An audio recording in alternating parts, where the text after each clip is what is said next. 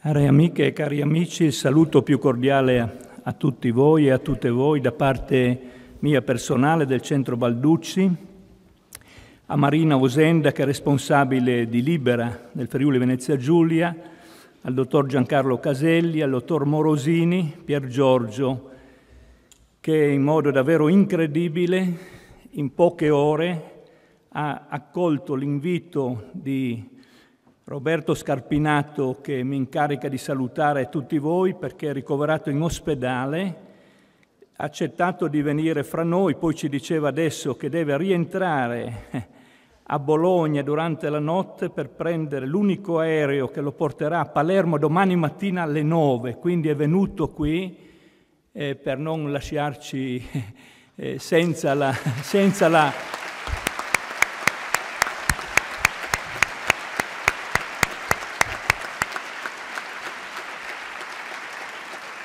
Questi, questi, sono segni davvero di particolare significato, ecco, che dicono la, il valore di una persona e la sua straordinaria disponibilità. Il saluto anche a nome di Centro Balducci e di Libera, il prefetto di Udine, Vittorio Zappalorto, il questore dottor Cracovia Claudio, il procuratore della Repubblica di Udine Antonio De Nicolo, il prefetto di Pordenone e il prefetto di Trieste hanno mandato un saluto non potendo partecipare. E procediamo subito perché abbiamo insieme deciso di iniziare così con l'intervento di riflessione e testimonianza di Silvia, che è nipote di Walter Eddi Cosina, trentenne, ucciso con Paolo Borsellino e i colleghi Elena Loi, Agostino Catalano, Vincenzo Limuli e Claudio Traina il 19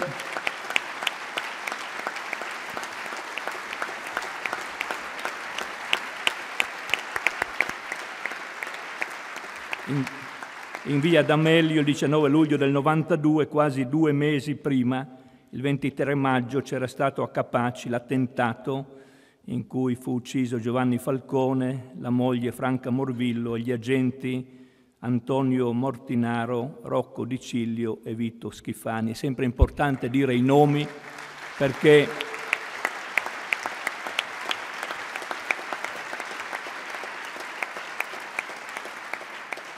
perché i nomi dicono persone, dicono storie, dicono disponibilità. Allora ascoltiamo la testimonianza di riflessione di Silvia.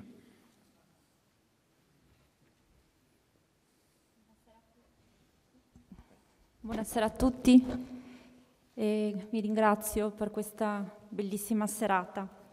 E mi scuso se nel parlare mi emozionerò un pochino, ma purtroppo sono passati 23 anni, però la ferita rimane aperta e certamente queste serate mi fanno piacere perché si ricorda il lavoro di tante persone che hanno sacrificato la loro vita per noi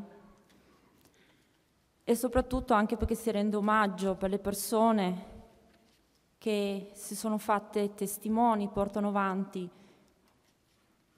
gli ideali per cui Borsellino e i suoi ragazzi, i suoi angeli si sono sacrificati.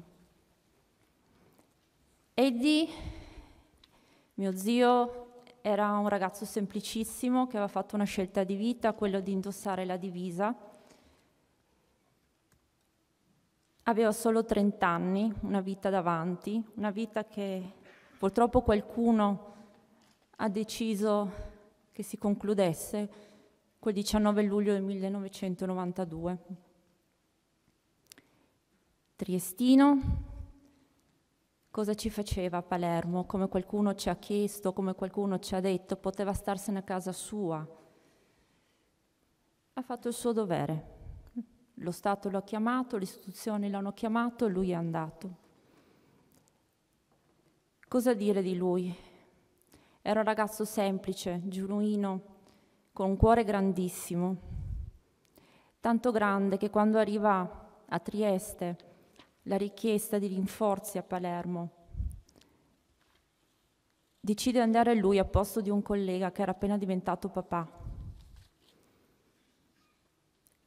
Quella domenica non doveva esserci con Paolo, però ha voluto rimanere fino all'ultimo giorno al suo fianco. Anche quel giorno ha detto di no alla sorte, perché quel giorno è arrivato anche il suo sostituto, anche lui veniva da Trieste.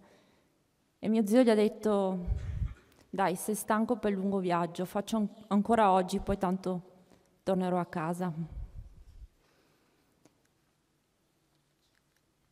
Questi anni sono stati difficili per noi come famiglia, intanto perché abbiamo perso un punto di riferimento importantissimo in una famiglia di sole donne, era il nostro punto di riferimento. È stato difficile anche perché far accettare ai nostri concittadini che le mafie erano molto vicine a noi e non è stato mio zio portare la mafia a Trieste. Sì, dobbiamo dire sono stati dimenticati, siamo stati ghettizzati, perché è inconcepibile che un triestino fosse stato ucciso dal, dalla mafia. Però cerco sempre di vedere il lato positivo delle cose da quel giorno la mia vita è stata completamente stravolta, così anche quella della mia famiglia, perché appunto non è stato solo perdere una persona fondamentale per noi. Io quel giorno ho perso mia madre, mia nonna e mia zia, perché le persone che ho accanto non sono più quelle con cui ho vissuto fino a in quel momento. E so anche di avere la responsabilità di portare avanti il ricordo di mio zio e anche di vivere quella vita che lui purtroppo non può vivere più.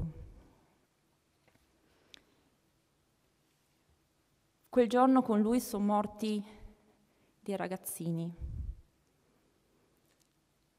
dei ragazzini che, ripeto, hanno fatto una scelta di vita molto forte, hanno avuto il coraggio di vivere la vita con la V maiuscola e a testa alta. Noi abbiamo una grandissima responsabilità, innanzitutto di vivere per loro, di portare avanti i loro ideali, perché la responsabilità di quelle morti sono anche nostre. Sono di tutte quelle persone che fanno finta di non vedere, non vogliono vedere e non vogliono sapere. Fondamentale quindi è non girare la testa, prendersi la nostra dose di responsabilità e senz'altro il sapere, l'informazione e soprattutto andare nelle scuole a parlare ai ragazzi. Questo è fondamentale. Vi lascio con una frase che mi, ogni tanto leggo per darmi forza è ciò che Paolo Borsellino disse all'indomani della strage di Capaci. Sono morti per tutti noi. Abbiamo un grande debito verso di loro e dobbiamo pagarlo gioiosamente, continuando la loro opera, facendo il nostro dovere, rispettando le leggi, anche quelle che ci impongono sacrifici, rifiutando di, di trarre dal sistema mafioso i benefici che potremmo trarne collaborando con la giustizia, testimoniando i valori in cui crediamo, in cui dobbiamo credere, anche dentro le aule di giustizia, troncando immediatamente ogni legame di interesse, anche quelli che ci sembrano più innocui, con qualsiasi persona portatrice di interessi mafiosi, grossi o piccoli, accettando in pieno questa gravosa e bellissima eredità di spirito. Io dico solo una cosa, Grazie Paolo, grazie Eddie, grazie Manuela, grazie Vincenzo, grazie Agostino, grazie Claudio.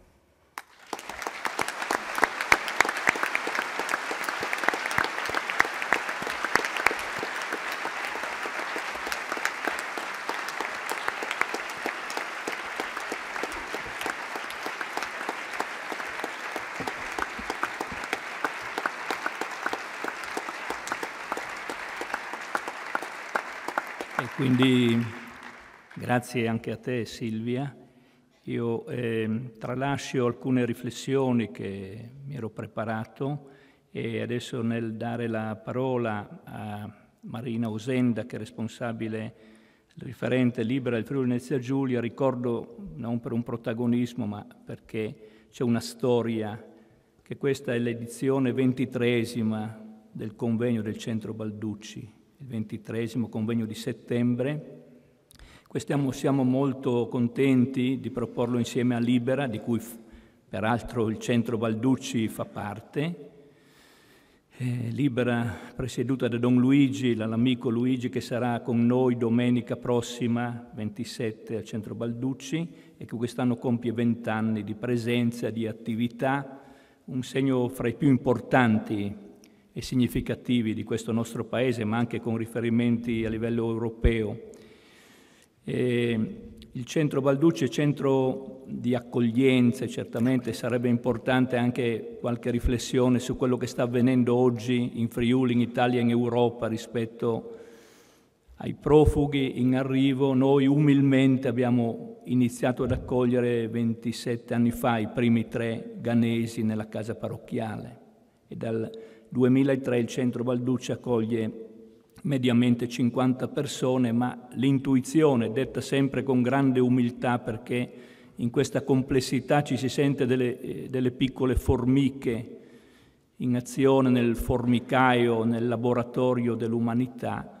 Ecco, certamente da 2003 accogliamo 50 persone, ma l'intuizione è stata, oggi lo vediamo, positiva, quella cioè non solo di accogliere, ma anche di continuare a riflettere, a proporre momenti continui di riflessione sulle grandi questioni della vita e della storia.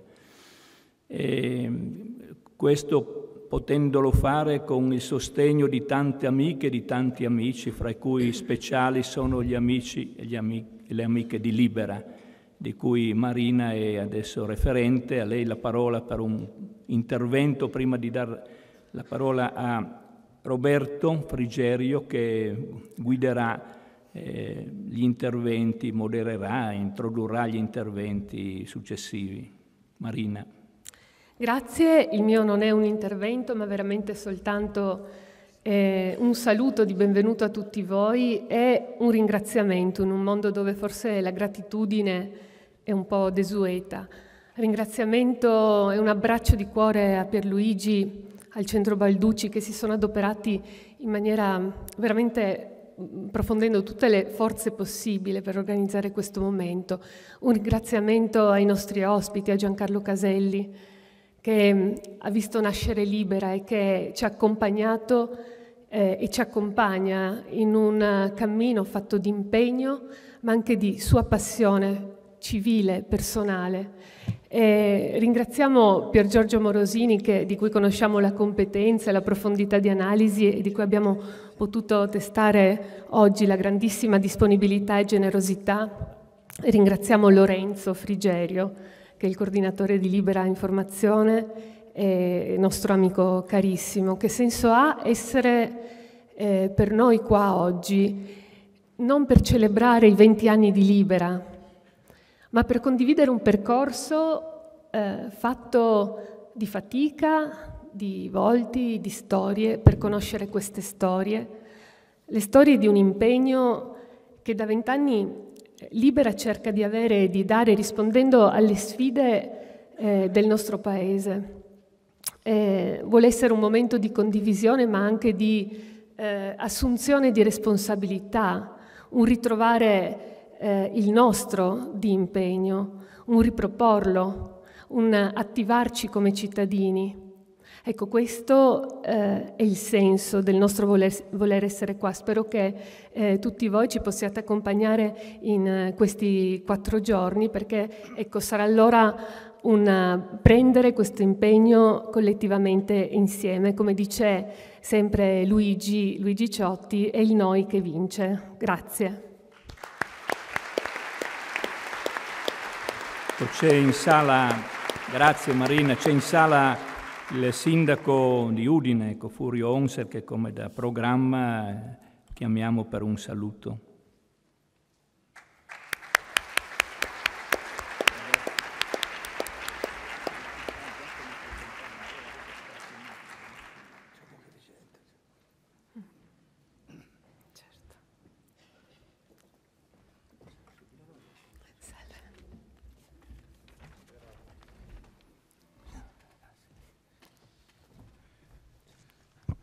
Ho stretto, ho stretto la mano a nome di tutti voi.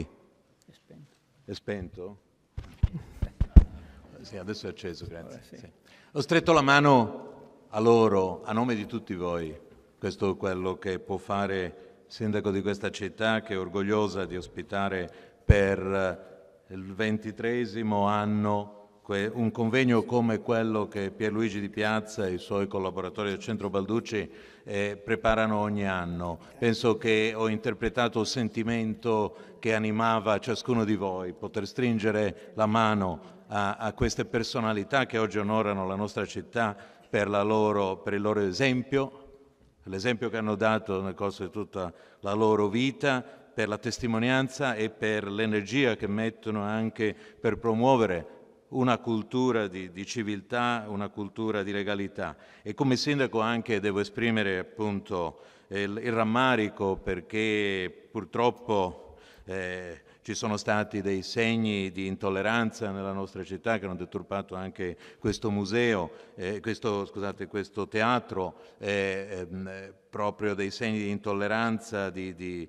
di, di intimidazione nei confronti eh, di, alcuni di questi oratori. Io appunto li ho stigmatizzati eh, proprio dicendo che intimidire in questo modo è proprio un segno di fascismo che eh, nostro, eh, la nostra città non, non, non può accettare perché questa è una città che dalla lotta di liberazione ha sempre fatto della difesa dei diritti e della difesa della libertà di tutte le libertà, in primis anche la libertà di parola, uno può esprimere le proprie opinioni senza intimidire chi ha delle opinioni diverse dalle sue. E appunto per questo anche volevo esprimere la, tutto il rammarico come sindaco, ma anche tutta la fermezza di questa città nel ribadire l'impegno contro le mafie, l'impegno per la legalità. Qui è presente anche l'assessore Federico Pirone che ha molto eh, cercato di promuovere anche Libero, noi abbiamo aderito anche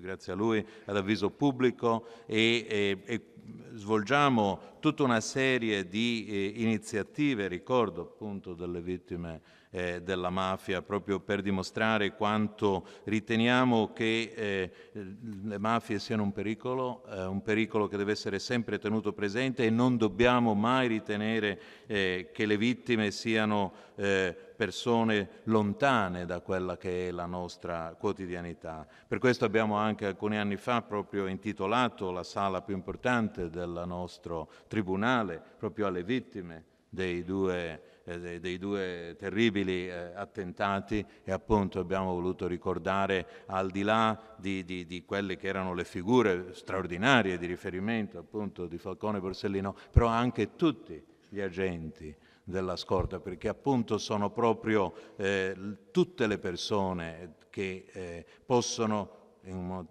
dare un contributo eh, significativo con eh, la loro eh, azione, con il loro esempio nel difendere la legalità. Eh, certamente eh, questo convegno eh, si articola come tutti gli anni in tantissimi momenti e io ancora una volta voglio dire il, il grazie di Udine, di tutto il Friuli, c'è anche il sindaco di, di Pozzuolo qui che appunto è, è, è, è vice sindaco appunto che hanno il privilegio di poter ospitare il centro Balducci perché queste quattro giornate sono quattro giornate che scuotono la nostra coscienza e il mio auspicio è sempre che i pensieri che ci hanno animato in queste giornate poi rimangano con noi per tutto l'anno proprio perché è un impegno quello che dobbiamo svolgere. Giustamente è stato ricordato anche il tema eh, dell'accoglienza e eh, dell'accoglienza dei, dei, dei, richiedenti asilo, dei profughi e giustamente è stata sottolineata la complessità della problematica, di come appunto questo, questo continente che è certamente tra i più privilegiati forse il più privilegiato del pianeta, deve assolutamente porsi il tema dell'equità dell'equità planetaria e, e, di questa equità affrontarla anche appunto nella quotidianità. Però questa complessità eh, fa sì che eh, sia importante eh, che tutti abbiano atteggiamenti eh, assolutamente di apertura, assolutamente di disponibilità al dialogo, di disponibilità al mettere in discussione quelli che possono essere pregiudizi, quelli che possono essere preconcetti, quelli che possono essere eh, eh, così, soluzioni preconfezionate. Io sono sempre terrorizzato tutte le volte che appunto vengo, i giornalisti chiedono allora qual è la soluzione del problema. Io sempre dico ma guardate che parlare di soluzione vuol dire non aver inquadrato la dinamica che stiamo vivendo, questo qui è un processo, è un processo che deve dare dignità a tutte le persone, deve darla con tutte le specificità. Noi operiamo come amministrazione in questo senso e in questo senso con Pierluigi Di Piazza abbiamo sempre avuto un appoggio, un dialogo. Quindi io adesso concludo ringraziando ancora gli ospiti straordinari, ma soprattutto eh, affermando quanto importante per noi a Udine, qui nel Friuli, avere un centro come il Centro Balducci, centro della nostra coscienza, ma anche della nostra azione e un grazie sincero a Pierluigi Di Piazza per 23 convegni come questo. Grazie e Grazie. buon ascolto a tutti. Grazie. Grazie, allora grazie al sindaco Furio Onsel. Allora, oggi, ora la parola a Roberto Frigerio che è coordinatore nazionale della Fondazione Libera Informazione. Era tanto il desiderio di Don Pierluigi di avere qua Roberto Scarpinato che è già la seconda volta che mi chiami Roberto.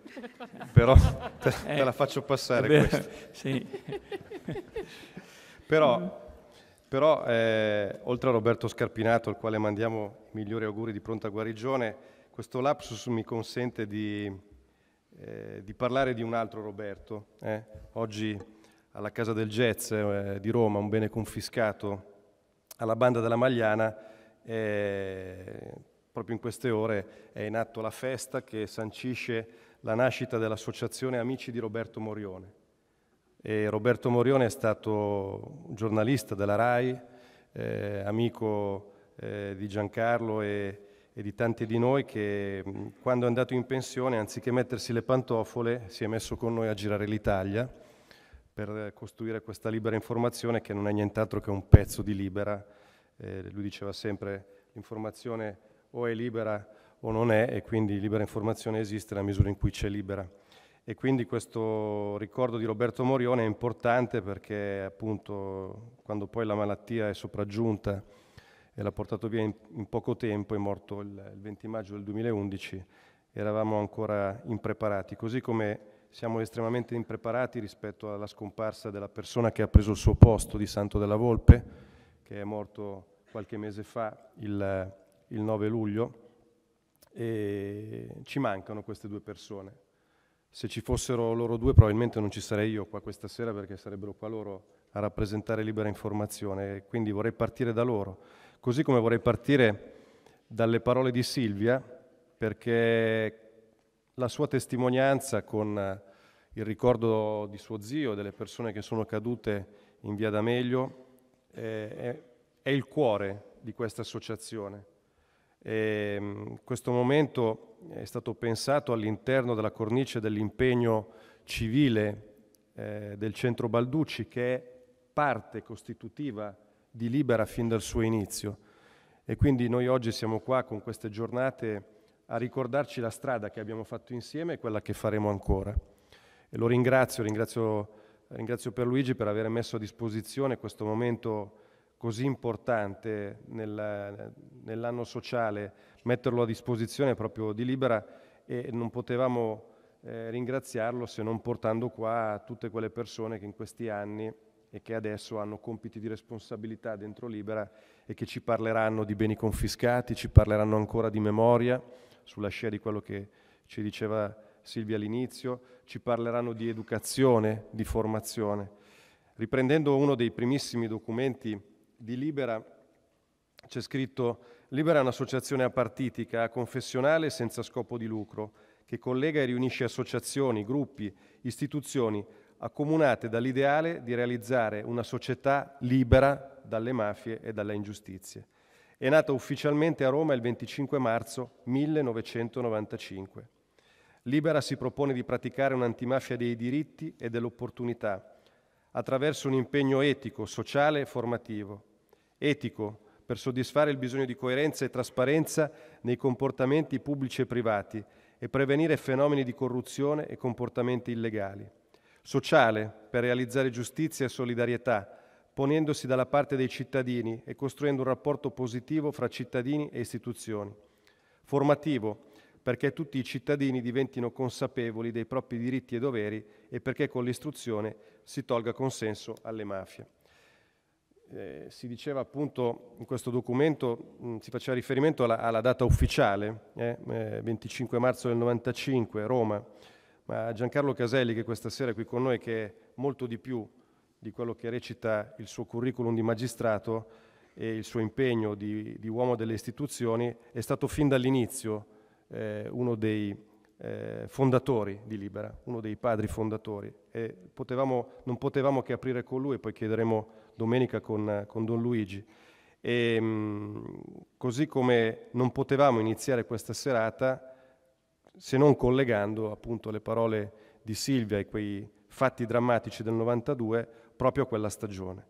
Perché se è vero che Libera nasce nel 95, in realtà c'è stata una gestazione, poi Giancarlo ci ricorderà qualcosa, che è andata avanti proprio nell'immediatezza della, delle stragi che poi ha preso corpo in maniera formale quel 25 marzo.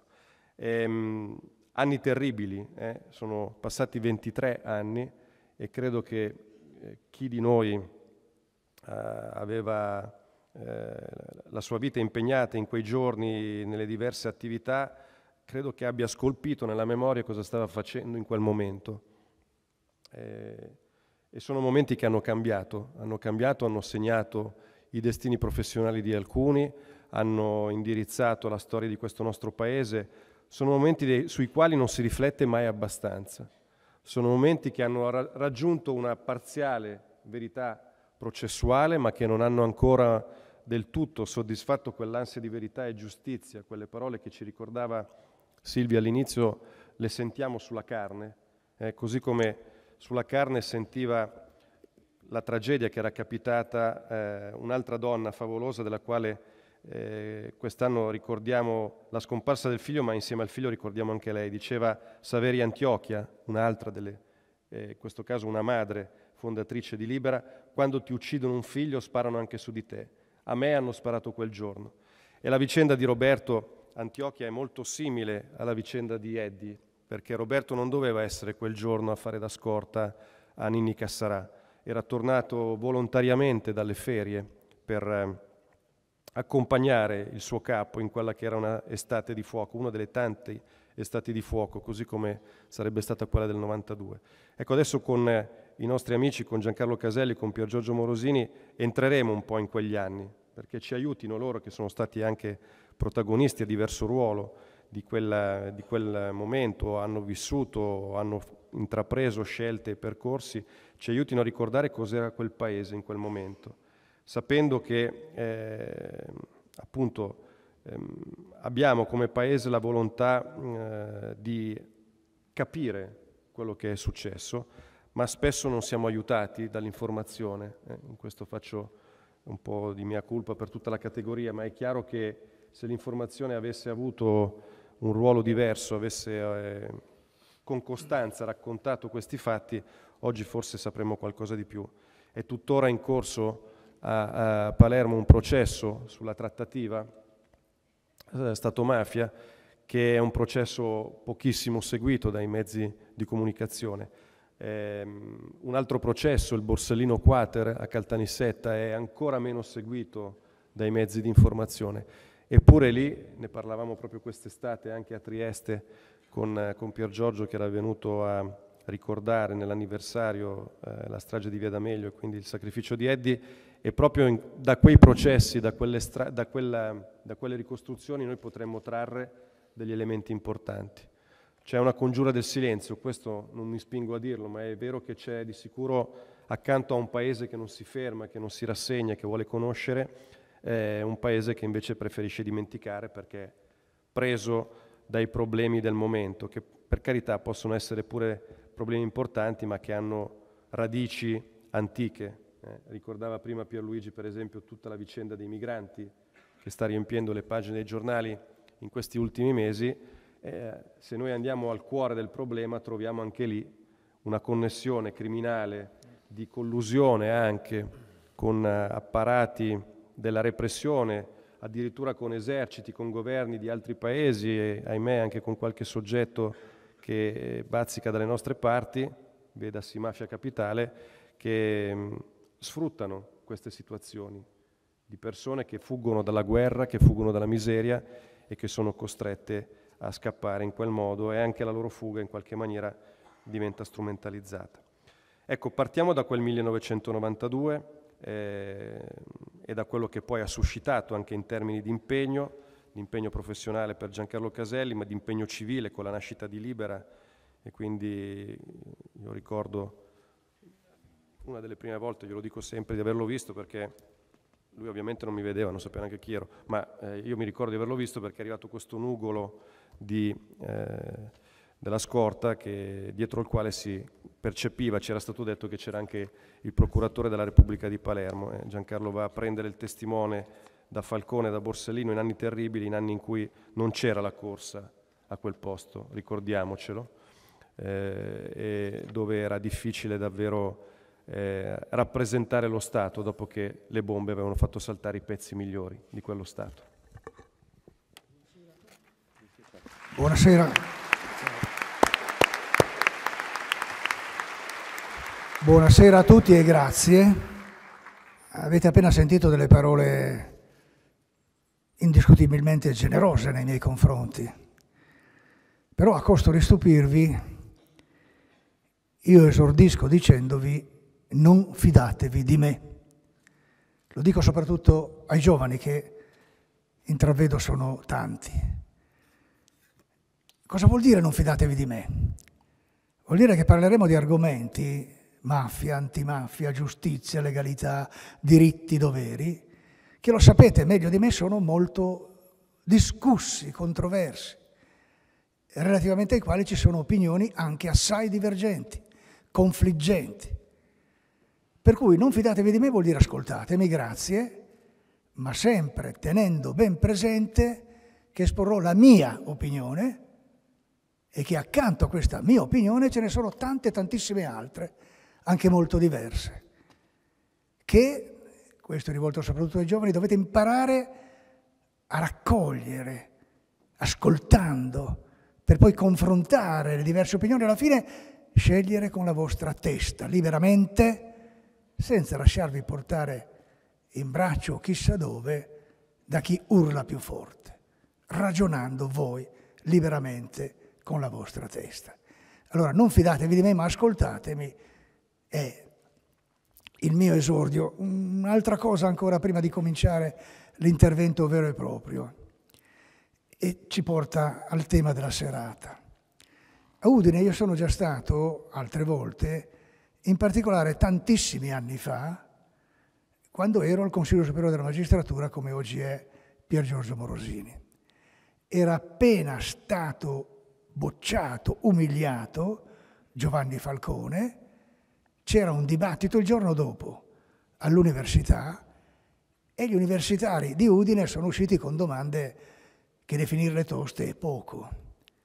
Ricordo che qualcuno chiedeva, ma se siete tutti servitori dello Stato, com'è che vi dividete così? Su una questione di primaria importanza per l'interesse nazionale della lotta alla mafia. Qualcun altro ancora più, come dire, insinuante, usiamo questa formula, ha chiesto, ma ho letto sui giornali che qualcuno ha votato contro Falcone perché gli hanno promesso una candidatura o addirittura l'elezione a sindaco di Palermo. Come stanno le cose? Beh, io ero allora soprattutto componente del CSM, ma ancora dopo e per una certa misura persino oggi un uomo delle istituzioni che dice quello che pensa, ma cerca per quanto possibile che non venga meno la fiducia, la credibilità delle istituzioni. E allora a queste domande rispondevo, lo confesso, dribblando, facendo un po' di slalom. Accanto a me era seduto un prete, un gesuita, di nome padre Pintacuda, che non conoscevo ancora. È la prima volta che nella mia vita lo vedo quasi per caso. Beh, padre Pintacuda avrete letto qualcosa, magari qualcuno avrà letto qualcosa di lui, non la mandava, non era un diplomatico. A queste domande degli studenti dell'università ha risposto sparando, come usa dire, alzo zero.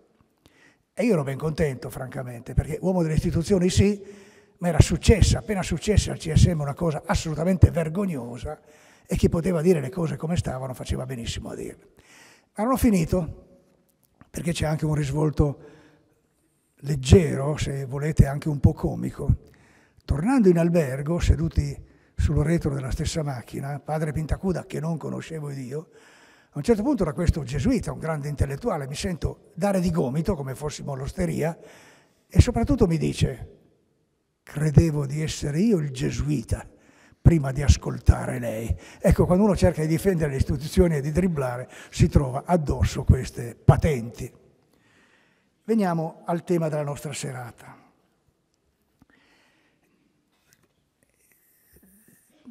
Frigerio l'ho appena ricordato, quando vengono uccisi Falcone, Borsellino e gli altri che erano con loro a Capaci e in via D'Amelio, superando molte perplessità, molte incertezze, molto discutendo in famiglia e fuori dalla famiglia, decido alla fine di fare domanda per essere trasferito dalla mia, virgolette, Torino a Palermo, per assumere avendomi nominato il Consiglio Superiore della Magistratura a seguito della mia domanda, quel posto, il ruolo di procuratore capo della Repubblica. Con tutti i miei limiti, con tutte le mie insufficienze, con tutte le mie mancanze, con tutte le mie, come dire, debolezze, volevo provare a prendere il posto, raccogliere quantomeno il testimone che era con le stragi stato strappato di mano a Giovanni Falcone e Paolo Borsellino. Avevo scelto di mettermi a disposizione, ecco questo è uno degli insegnamenti maggiori di Ciotti, di sporcarmi le mani mettendomi in gioco. E comincia un'esperienza che dura quasi sette anni, di questo vorrei cominciare a parlare. Quando arrivo la situazione è drammatica, è terribile. E quelli che hanno la mia età, ma anche molti giovani che si sono informati leggendo qualcosa su questi argomenti, sanno che il capo di Falcone e Borsellino, Nino Caponnetto, in quei giorni, interpretando il sentimento dell'intero popolo italiano, disse queste semplici ma terribili, drammatiche parole. È tutto finito, non c'è più niente da fare. Eravamo tutti convinti che le cose stessero proprio così, che avesse vinto la mafia, che lo Stato italiano, una democrazia che ha dei difetti, ma è e rimane democrazia, stesse per essere trascinato in un baratro senza fondo e trasformato in uno Stato mafia, in un narcostato. E le parole di Caponnetto esprimevano lo scoramento, eh, la difficoltà di ciascuno di noi di raccapezzarsi dopo un chilometro e mezzo di autostrada polverizzato e un quartiere della civilissima Palermo ridotto a Beirut con un'autobomba che ha cagionato gli sconquassi terribili, tragici che sappiamo. Bene, se siamo qui a parlare di mafia, un problema ancora grave, ancora pericoloso, ancora gravido di conseguenze pessime, è perché la mafia non è passata. E perché, nonostante la paura di tutti, abbiamo insieme, sottolineo insieme, lo vedremo, sollevato la testa e ci abbiamo dato dentro, creando una vera e propria resistenza che ha invertito la tendenza che stava, che rischiava di travolgerci. Tutti insieme. È una stagione magica, dura due o tre anni, ma sono due o tre anni di unità di intenti e di azione. La politica, lo sapete, di solito i politici litigano e avere idee diverse è il sale della democrazia. Raramente sono d'accordo, ma in questa circostanza alla unanimità fanno tre cose fondamentali. Approvano una relazione della Commissione parlamentare antimafia sui rapporti tra mafia e politica, nella quale stanno scritte cose mai dette prima e che non saranno mai più ripetute uguali in seguito approvano all'unanimità senza distinzioni di casacca, di colore politico e via seguitando, due leggi fondamentali nella lotta alla mafia. La legge sui pentiti, non si può combattere la criminalità organizzata, si tratti di mafia o di terrorismo, se non conosciamo i segreti dell'organizzazione. E i segreti, per conoscerli, bisogna avere qualcuno che te li racconti.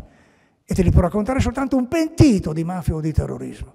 Ecco l'importanza fondamentale, il grimaldello contro la segretezza, la secretazione di queste organizzazioni criminali rappresentate dai pentiti.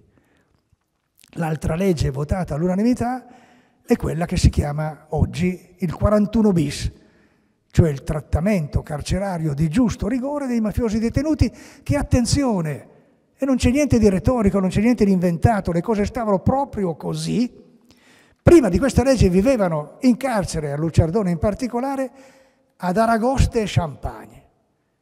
Il problema non è gastronomico, potevano permettersi Aragoste e Champagne, buon per loro, ma Aragoste e Champagne in un carcere, la struttura più totalizzante dello Stato democratico, significava esibire addirittura la supremazia della mafia rispetto allo Stato, anche dove lo Stato avrebbe dovuto togliere tutto.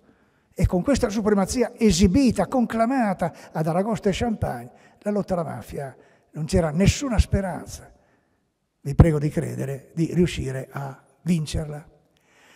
Unità di azione, oltre che di intenti della politica tutta all'unanimità, recupero di entusiasmo e di efficienza grazie a queste leggi, pentiti e 41 bis, da parte delle forze dell'ordine e della magistratura, straordinario contributo di popolo, una mobilitazione di massa della gente di Palermo e non solo, che ha avuto un peso decisivo, perché se si delega tutto a polizia e magistratura non si ottiene nulla se non qualcosa di effimero. Ci vuole il coinvolgimento dell'opinione pubblica, bisogna che l'opinione pubblica sia partecipe della lotta alla criminalità perché altrimenti di strada se ne fa poca. Beh, in quel periodo, in quel biennio, triennio magico, l'opinione pubblica palermitana e no ha partecipato con una mobilitazione intensissima. La Palermo in cui io ho cominciato a lavorare era la Palermo delle lenzuola bianche appese a tutti i balconi, a tutte le finestre, simbolo di pulizia, di limpidezza, di trasparenza, di voglia di pulito contro la mafia.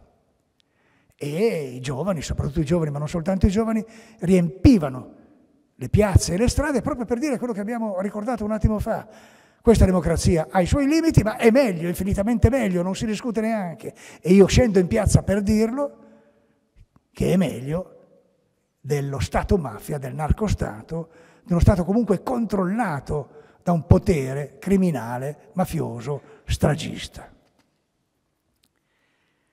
E in questo modo arrivano i successi, arrivano i risultati. Tutti insieme, facendo squadra, lavorando tutti senza nessuno che tirava l'acqua al suo mulino, ma considerando come unico il mulino nazionale, collettivo, generale, i risultati arrivano. È in questo percorso che mi infilo anch'io facendo domanda per andare a lavorare a Palermo e quando arrivo, devo dirlo, trovo una procura sfasciata, una procura a pezzi, una procura in cui i veleni e i corvi che avevano affossato Falcone e fatto trovare duro anche a Paolo Borsellino, c'erano ancora, volavano bassi. Beh, anche noi della Procura di Palermo, superando divisioni, superando fratture, superando contrapposizioni, superando le tensioni del passato, abbiamo deciso di guardare avanti, soltanto avanti, stando tutti insieme formando squadra. I risultati, i risultati che sono l'inversione di tendenza, i risultati che sono la resistenza, i risultati che sono il rialzare la testa invece di essere schiacciati, spazzati via. In sintesi, latitanti arrestati come mai in precedenza e oso dire neanche in seguito. Rina, Ganci, Madonia, Brusca, Bagarella, Allieri, i fratelli Graviano, Di Matteo, La Barbera, Spatuzza, Grigoli, Vitale, e sono soltanto la punta dell'iceberg. Pentiti. C'era per usare un, eufemismo, ma poi mica tanto lontano dalla realtà, la coda davanti agli uffici della Procura per collaborare con lo Stato. E attenzione che chi collabora con lo Stato, quando si tratta di mafia, condanna a morte, a morte, di nuovo non è un modo di dire, è la verità, se stesso e i propri familiari. Quindi si collabora con lo Stato soltanto se lo Stato è credibile, soltanto se di quello Stato ci si fida. Beh, la fiducia era cresciuta in misura tale, ripeto, che c'era la coda davanti ai nostri uffici per pentirsi. Tanti pentimenti, naturalmente verificati minuziosamente uno per uno, non è che basta che uno dica mi pento e via, eh, comincia la ballata, no. Mi pento, adesso vado a vedere se dice la verità, ma non possiamo aprire questa parentesi che però è decisiva, andava almeno accennata. Tanti pentiti offrono riscontrati, fondati elementi di prova per un'infinità di delitti, si celebrano conseguentemente moltissimi processi, il risultato sono 650 ergastoli. Guardate, io non sono un notaio degli ergastoli, non mi piace, ecco. L'ergastolo è sempre morte civile, mafioso o non mafioso, 650 ergastoli uguale 650 morti civili. Ma cito questo dato con un po' di difficoltà perché è sintomatico, emblematico, la dice tutta sui risultati ottenuti, soprattutto ai 650 ergastoli, aggiungiamo l'infinità di anni di reclusione che i processi celebrati hanno consentito di irrogare. Non solo i processi e le condanne, anche arsenali di armi, anche da guerra, missili, portati via ai mafiosi e quindi i mafiosi privati della possibilità di utilizzare altri strumenti di morte. E finalmente l'attacco anche ai patrimoni mafiosi. Quando io, io, arrivo a Palermo, nessuno della Procura vuole occuparsi di misure patrimoniali, perché il magistrato ancora oggi è un investigatore, tende ad essere soprattutto uomo d'inchiesta. Le misure patrimoniali sembrano cosa più che altro da commercialista o da ragioniere e il magistrato non fa volentieri questo lavoro. E per formare anche qui una squadra di magistrati che si occupassero, specializzandosi di questo argomento, ho dovuto faticare. Ma alla fine ci sono riuscito e abbiamo sequestrato, nei sette anni circa che ho lavorato a Palermo, 20.000 miliardi di vecchie lire una piccola finanziaria, attenzione, che è la base dell'antimafia sociale, dell'antimafia dei diritti, che vede libera al centro di una serie di attività, in particolare eh, la coltivazione dei terreni confiscati ai mafiosi per ottenere prodotti, pasta, olio, vino e via seguitando, che sono la dimostrazione della legalità che paga, che restituisce alla collettività, almeno in parte, ciò che la mafia ha rapinato con tutti i suoi delitti. Mi avete già sentito dire però che tutto questo è durato due o tre anni, perché a un certo punto, quando credevamo sinceramente di essere vicinissimi al traguardo, succede qualcosa che ci riporta indietro. Cosa succede? Che facendo il nostro dovere, facendo il nostro dovere, puramente il nostro dovere, quello che qualunque magistrato dovrebbe fare, ci occupiamo non soltanto dei mafiosi di strada, Rina e compagni, ma anche degli imputati eccellenti, accusati in base a elementi in fatto e in diritto consistenti, di avere avuto, magari di avere ancora, con la mafia, con l'organizzazione mafiosa Cosa Nostra, con singoli mafiosi, rapporti di interesse, favori scambiati, la cosiddetta zona grigia, coperture, collusioni, complicità, che sono, attenzione, il nervo, la spina dorsale del potere mafioso. Per cui non indagare anche su questo versante avrebbe significato, sempre, anche oggi significa, indagare su metà della mafia. E indagando su metà della mafia sicuramente si perde ogni speranza di venire a capo dell'intero fenomeno complessivamente considerato. Quando cominciavano a occuparci, tanto per fare un paio di nomi, di Andreotti e di Dell'Utri, ecco, prima andavamo bene, a partire da questo momento non andiamo più bene.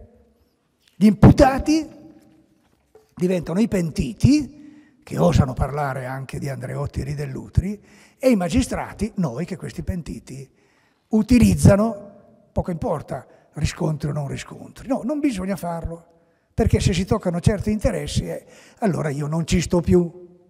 È un po' un'abitudine nel nostro paese, no? considerare la legalità come un paio di ciabatte. Finché mi fa comodo le indosso, ma se non mi fa più comodo le butto nel cestino. Eh, la legalità come una specie di, di, di menu à la carte, prendo ciò che mi piace e rifiuto ciò che non mi va, non è legalità, è privilegio per qualcuno e penalizzazione per altri. Noi abbiamo fatto il nostro dovere, ma ecco, qualcuno invece di darcene atto, magari con tutte le critiche pure, eh, possibili, necessarie, ha cominciato a spararci dialetticamente addosso. Professionisti dell'antimafia, uso spregiudicato dei pentiti, eh, toghe rosse, comunisti, al servizio di una fazione, per... chi più ne ha ne metta. Tutte balle, clamorose, balle, Guardate, nella mia vita mi è capitato, quando mi occupavo di Brigate Rosse, l'ho fatto per oltre dieci anni, di essere definito un fascista al servizio di Dalla Chiesa. Poi sono andato a Palermo, ho cominciato ad essere chiamato comunista, il primo è un certo Totorina, che lo ha detto in pubblica udienza, Reggio Calabria, processo per la morte del magistrato Scopelliti. Poi sono tornato a Torino e di nuovo sono tornato un fascista, anche un mafioso eh, mi si può dire tutto, ecco, francamente. Ditemi anche che sono un fascista, ma che sono un mafioso, per favore, un minimo di buonsenso e di logica dovrebbe impedirlo, invece è successo anche questo.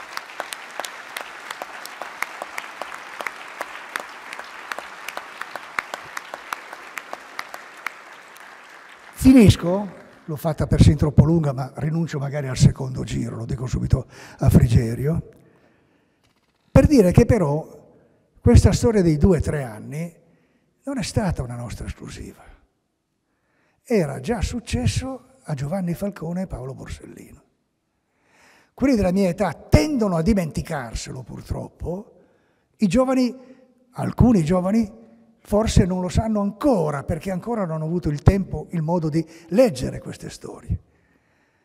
Beh, quello che si sta dimenticando, che magari non si sa ancora, è che Giovanni e Falcone, noi giustamente, sacrosantamente, insieme a chi era con loro per difenderli e con loro invece ha perso la vita, oggi tutte queste vittime della violenza mafiosa, Falcone e Borsellino insieme agli altri, le celebriamo come eroi. E eroi, autenticamente eroi sono stati. Giusto, forse, lo dico soprattutto ai giovani, non sapete che gli allievi dell'FBI, la più celebre polizia del mondo, tutte le mattine fanno l'alzabandiera, rinnovano il giuramento e davanti al pennone, su, lungo il quale sale la bandiera a stelle e strisce, cosa c'è? C'è un busto di Giovanni Falcone, l'eroe dei due mondi letteralmente, ecco. Vale non soltanto per un personaggio storico, vale anche per lui. Ma questo eroe, dopo morto, in vita è stato, professionalmente parlando, bastonato. E questo non bisogna dimenticarlo e bisogna saperlo. Per farla breve, ad un certo punto della sua esperienza professionale, della sua vita terrena, Falcone è stato cacciato, cacciato da Palermo.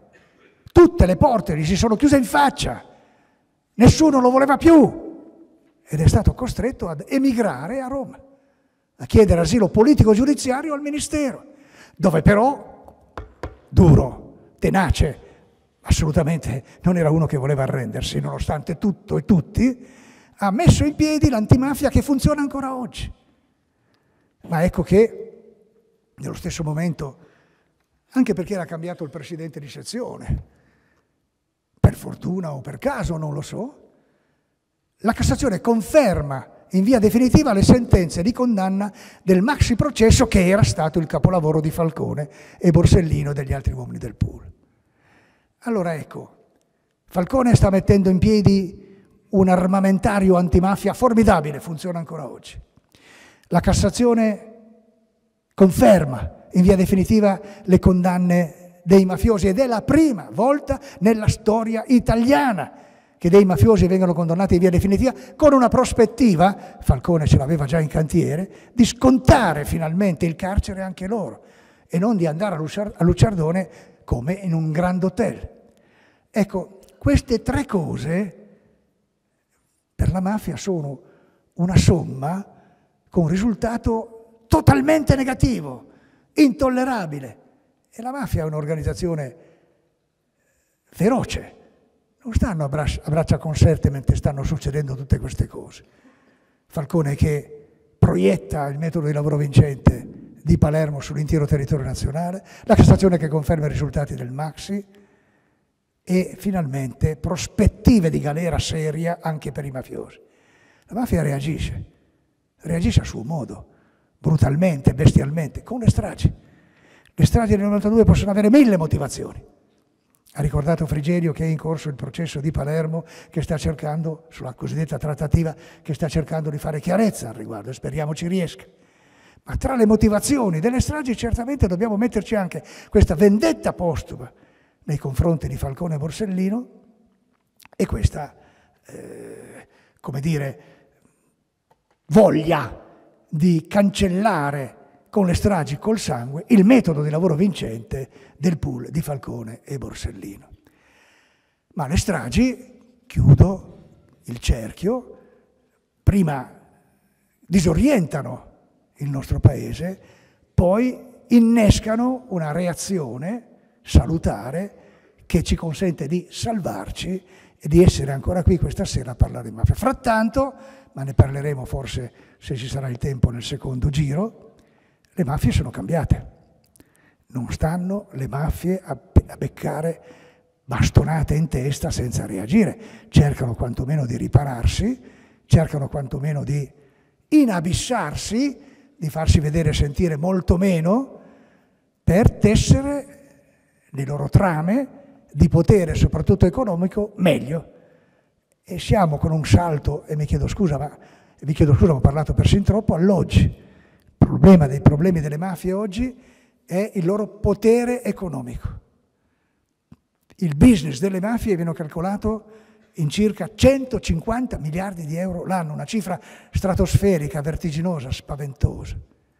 Ecco, la lotta contro l'illegalità economica nella sua declinazione mafiosa è la sfida di oggi. Le mafie ci sono ancora, ripeto, ma ci sono pericolosamente, il pericolo maggiore oggi è quello economico. Grazie.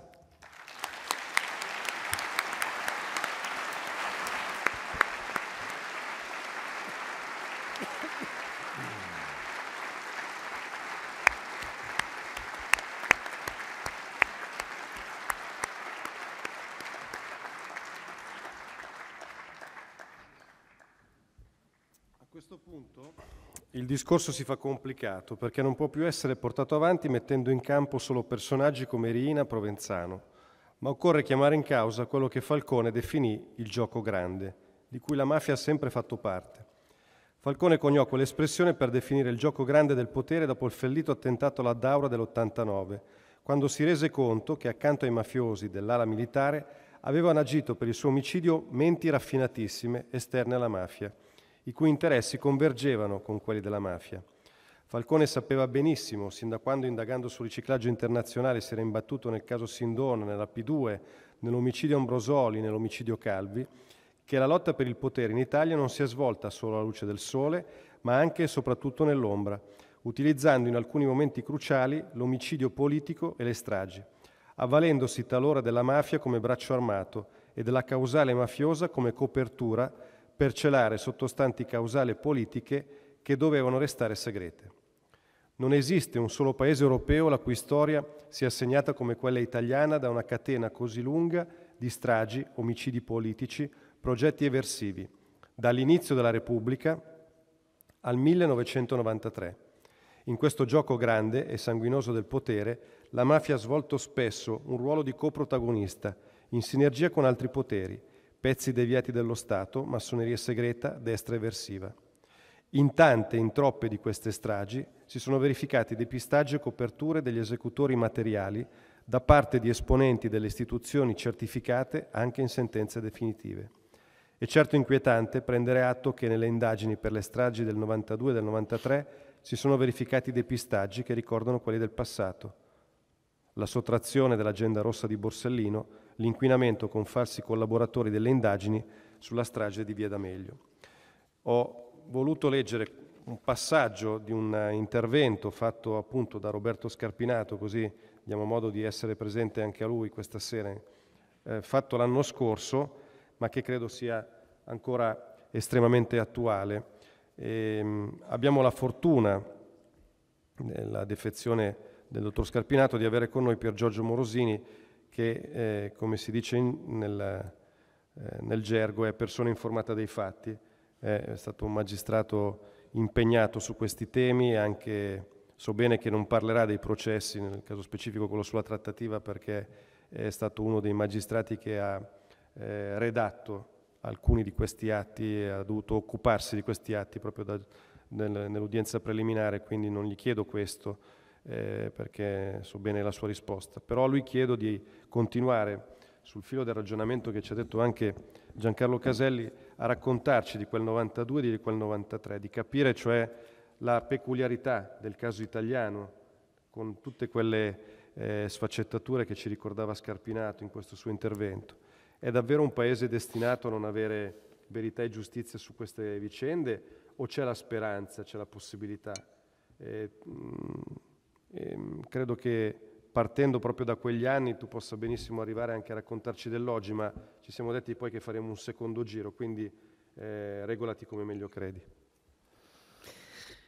Sì, io intanto voglio ringraziare per l'accoglienza tutti voi, in particolare Don Pierluigi, Marina, Lorenzo. Quando Roberto Scarpinato mi ha detto che aveva delle difficoltà a venire perché si trovava in ospedale e mi ha detto di questa iniziativa, mi ha detto che avrei incontrato Giancarlo, mm, ho accettato subito anche per un fatto affettivo. Io ho cominciato la mia esperienza di magistrato, la mia è una storia diversa rispetto a quella di Giancarlo, ma ho cominciato la mia esperienza di magistrato nel 90, 94 e quando feci la scelta, sulla fine del 93, il motivo della mia scelta, una scelta davvero poco originale. Come tanti altri giovani uditori eh, de- delle regioni del centro-nord, eh, decisi di fare un'esperienza in Sicilia, ma l'esperienza in Sicilia in quel momento era molto, adesso non lo dico perché è qua presente, ma era molto Giancarlo Caselli. E, e quindi tanti di noi da diverse postazioni, con diverse sensibilità, provenendo da, da diversi ambienti, fecero quella scelta perché quella era, è vero, in quei t- due o tre anni, era un'Italia dove soprattutto i giovani avevano delle grandi speranze, delle grandi speranze di cambiare il nostro paese, perché il nostro paese, eh, eh, quello era un momento di, di, grande passaggio, il nostro paese eh, era accaduto un sistema sostanzialmente, il sistema della Prima Repubblica, e c'era la volontà di cambiare, di costruire una società migliore. Ehm, e quindi eh, anche un motivo affettivo mi porta qua, in questa serata. Ma in realtà c'è una cosa che credo sia più importante poi anche degli affetti e delle emozioni personali. Io penso che Libera ne è un esempio. Libera raccoglie realtà diverse, provenienze territoriali diverse, sensibilità diverse, diverse generazioni. Libera raccoglie diverse generazioni.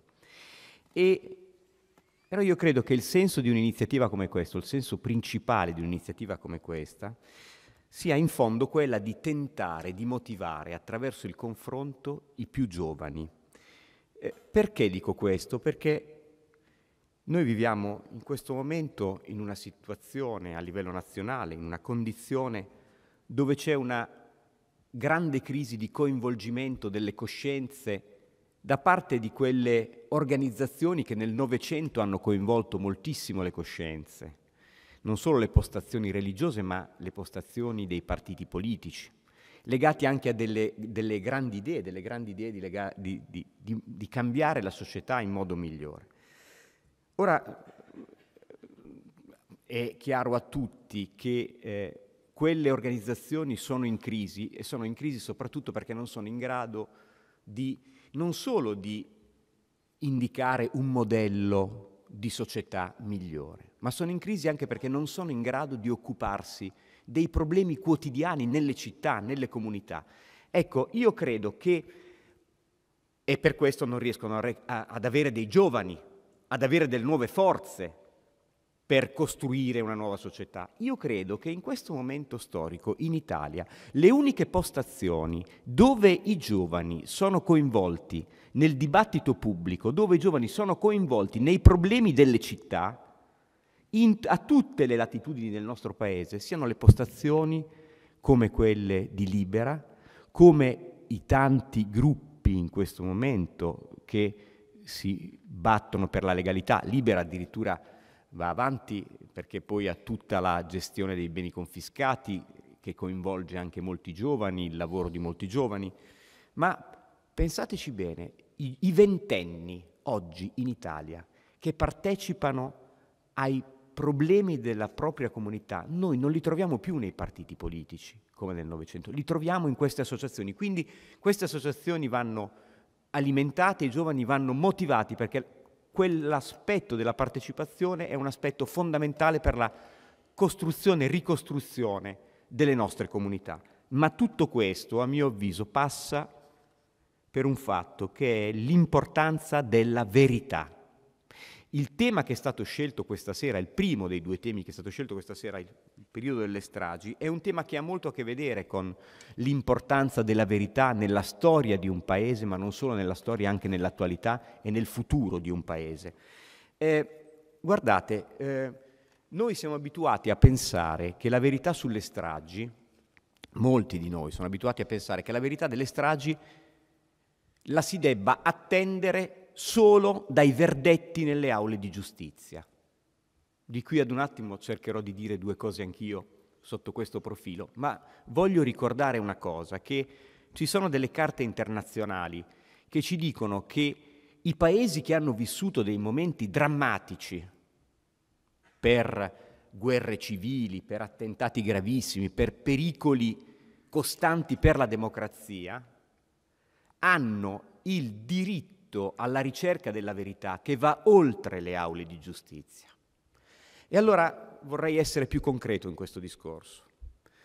Noi abbiamo assistito a delle polemiche infinite nell'estate del 2012, il ventennale delle stragi, a tutto quello, che è ruotato attorno ad un processo che è stato etichettato come il processo della trattativa.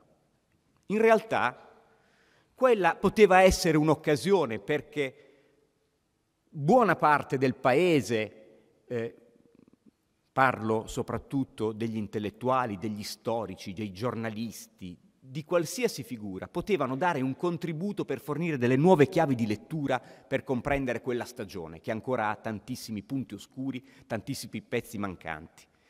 Bene, si è persa un'occasione perché cercando di parlare di quella cioè, pensando di parlare di quella stagione, in realtà si parlava di cose che non aggiungevano nulla al serbatoio degli elementi utili per la ricerca della verità di quel, di quel periodo drammatico. Io mi ricordo l'estate del 2012 fu tutta concentrata su due grandi argomenti. Il gossip su alcune intercettazioni che riguardavano il Presidente della Repubblica di allora e le aspirazioni politiche di qualche magistrato un'occasione persa per la ricerca della verità. In altri paesi hanno, eh, hanno, investito moltissimo, ad esempio, su commissioni parlamentari per la ricerca della verità, penso al, al, eh, al, ad esempio all'Argentina e a tutti i fatti degli anni 70, a cavallo fra gli anni 70 e gli anni 80, penso alle commissioni per la conciliazione del Sudafrica, operazioni verità fatte oltre le aule di giustizia. In Italia abbiamo concentrato tutta la nostra attenzione sui processi, come se tutto il resto non avesse responsabilità, come se esistesse solo la responsabilità penale, solo se l'unico canale per la ricerca della verità fosse quello dei processi. una visione miope che in realtà è frutto delle tante rimozioni rispetto a quella stagione. Guardate che quei paesi come l'Argentina e il Sudafrica, che hanno coltivato la ricerca della verità non solo nelle aule di giustizia, non hanno fatto quello, tutto quello solo per un'analisi storica. Volevano partire dalla ricerca della verità di quelle stagioni drammatiche dove erano morti dei parenti, degli antenati, perché volevano consegnare ai giovani una situazione dove si poteva dire, bene, è successo questo, adesso costruiamo qualcosa di nuovo. Quindi sono operazioni importantissime. Ma è vero, in Italia sono mancate, non c'è stato uno sforzo, adesso ci sono dei processi in corso anche molto importanti, mm, colpisce molto Palermo, ma deve colpire molto anche il processo di Caltanissetta sono sorprendenti i silenzi su queste cose. E sono, anche perché abbiamo, abbiamo le prove, questo lo possiamo dire, che la ricerca della verità è stata ostacolata rispetto a quella stagione, dal momento che il processo, ad esempio, per la strage di Via D'Amelio, i primi processi per la strage di Via D'Amelio sono praticamente caduti, sono cadute le sentenze che erano divenute irrevocabili, sono state rimesse in discussione, persone che erano state condannate, che erano in carcere da 18 anni, sono state scarcerate, perché era stata costruita una verità alternativa. E allora, eh, consentitemi solo per in maniera telegrafica di ritornare per un istante a quegli anni, agli anni delle stragi, perché un, l'Italia viveva un momento molto particolare, era un momento di passaggio, era, era stava finendo la cosiddetta Prima Repubblica, c'era Tangentopoli che incalzava, ogni giorno c'erano avvisi di garanzia per i leader politici, eh, taluni anche con, eh, colpiti da misure restrittive della libertà. Eh, cresceva ogni giorno l'instabilità del quadro politico. E d'altro canto però l'Italia era in un momento di grande crisi economico-finanziaria. Eh, quelli eh, diciamo meno giovani si ricorderanno ad esempio le iniziative del governo Amato con la cosiddetta manovra lacrime e sangue, addirittura furono prelevati dei soldi nottetempo dai conti correnti eh, di tanti cittadini. E in quel momento fioriscono in Italia, in ogni angolo dell'Italia, dei movimenti che eh, mirano sostanzialmente a dividere le diverse realtà nazionali. In quel momento un'associazione pericolosa come Cosa Nostra è in grande difficoltà perché il 30 gennaio del 92 si è concluso il primo maxi processo a Cosa Nostra e sono fioccati gli ergastoli per tantissimi boss. E in questo clima ci sono le stragi. In questa situazione di passaggio ci sono le stragi. In questo momento di grande disorientamento, io ricordo anche dal punto di vista sociale, c'erano eh, scioperi praticamente un giorno sì e l'altro pure. L'Italia vive un momento di grandissima difficoltà e, e assiste alle stragi, alle stragi, alla strage di Capaci, alla strage di Via D'Amelio, ma poi le stragi continuano, continuano anche fuori dalla Sicilia. Le chiavi di lettura.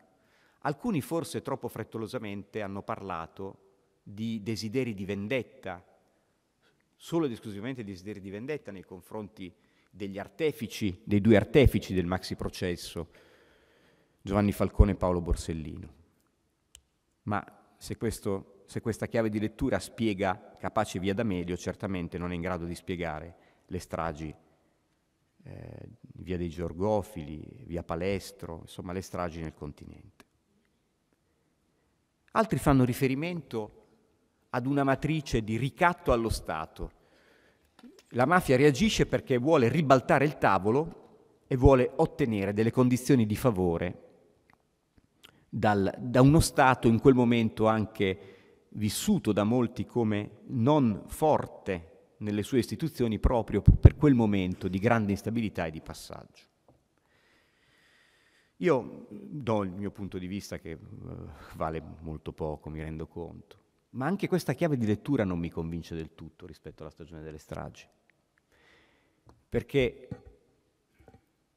uno dei motivi del ricatto doveva essere l'abolizione del, del cosiddetto 41 bis, il regime carcerario duro per eh, i boss mafiosi. Ma io vorrei ricordare che nel momento in cui eh, c'è la strage di Via D'Amelio, ancora il 41 bis non è andato sostanzialmente in vigore. Non solo, ma c'è, è stato introdotto da un decreto legge che verosimilmente su quel punto potrebbe cadere perché si sta delineando un quadro parlamentare in cui non c'è la maggioranza per convertire quel decreto. Questo il giorno prima della strage di Via D'Amelio. Il decreto verrà convertito sulla spinta anche emotiva e dell'esigenza di risposta immediata dello Stato dopo Via D'Amelio. Il primo decreto di 41 bis viene firmato dal ministro sul cofano di una macchina la notte tra il 19 e il 20 luglio. Anche quella chiave di lettura, naturalmente non era solo il 41 bis, ma anche quella chiave di lettura Giancarlo ne sa molto più di me, non mi convince sino in fondo. E una terza chiave di lettura, e magari possono essere chiavi di lettura anche che possono combinare tra loro, le, l'esigenza di creare con quelle stragi un clima di instabilità che poteva favorire determinati sbocchi politico-istituzionali. Non so di quale natura, non voglio entrare nel merito di questo, ma quelle sono, possono essere state forme di violenza politica. Non sarebbe la prima volta quando c'è di mezzo Cosa Nostra. Prima Giancarlo faceva riferimento a quella commissione antimafia che fece il rapporto su mafia e politica. C'è un passaggio importantissimo di quella relazione in cui parla di del rapporto tra Cosa Nostra, tra la mafia, tra le mafie e la politica, facendo una distinzione tra i momenti di stabilità per la vita di un paese e i momenti di instabilità e grossa fibrillazione. I momenti di stabilità è quando la prospettiva politico-istituzionale è una prospettiva di lungo termine, cioè non ci sono maggioranze che traballano, non c'è un momento di pesante crisi economica, c'è una situazione di stabilità. In quei momenti lì, dice la relazione, la politica, i politici fanno dei patti di scambio con le organizzazioni criminali. Questa era un'analisi del 93, adesso forse queste analisi sono state in realtà aggiornate poi negli ultimi anni sulla base di nuove vicende, ma diceva nei momenti di stabilità politico-istituzionale la mafia fa patti di scambio occulti, ci sono dei vantaggi, eh, dei vantaggi reciproci, c'è l'aiuto, i politici sbloccano ad esempio delle situazioni a livello di ostacoli amministrativi per consentire degli investimenti ai gruppi criminali, magari aiutano in qualche modo eh, alcuni mafiosi a aggirare le regole, eh, la legge e quindi eh, il pericolo di indagini, di processi, eccetera. Ma nei momenti di instabilità, quindi di grande fibrillazione della vita del nostro paese, nei momenti di crisi, attenzione perché Cosa Nostra, la mafia in questo caso, diventa braccio armato di operazioni politiche. Fanno un esempio la, proprio la relazione violante fa un esempio, eh, affronta un caso che è quello perio- di un altro grande periodo di instabilità per l'Italia, quello a cavallo fra gli anni 60 e gli anni 70, il periodo del eh, cosiddetto progetto del golpe borghese. E la Commissione antimafia sente due grandi collaboratori di giustizia che hanno contribuito moltissimo nei processi anche a Palermo, che sono Tommaso Buscetta e eh, Antonino Calderone. Loro, di fronte alla Commissione antimafia, parlano della presenza di Cosa Nostra, così come della, eh, della mafia calabrese e di frange della Camorra, nel progetto del golpe borghese. Che compito avevano i mafiosi? I mafiosi avevano il compito, dicono Buscetta e Calderone di fare gli attentati ai treni, di mettere le bombe eh, nel continente, perché si doveva creare la situazione di instabilità, che poi sarebbe stata governata da iniziative politiche magari autoritarie. Quindi, nei momenti di instabilità, Cosa Nostra, in questo caso, ma anche altre mafie, braccio armato di organizzazioni criminali. Ma attenzione, la violenza politica, la violenza su commissione, ad esempio di Cosa Nostra, è stata più volte affermata in importanti pronunce della Cassazione. Faccio riferimento a degli omicidi a cavallo fra gli anni 70 e 80 che sono stati definiti sino alla Cassazione come omicidi politico-mafiosi, per cui però alla fine hanno pagato solo i mafiosi. Mi riferisco all'omicidio di Piersanti Mattarella, allora Presidente della Regione, mi riferisco all'omicidio di Pio La Torre, che è poi il padre della legge antimafia, mi riferisco all'omicidio del generale dalla Chiesa. Questi processi si sono conclusi con un verdetto, la ricostruzione, la matrice politico-mafiosa, il movente politico-mafioso di quegli omicidi, ma alla fine hanno pagato solo i mafiosi. Hanno pagato soprattutto i corleonesi.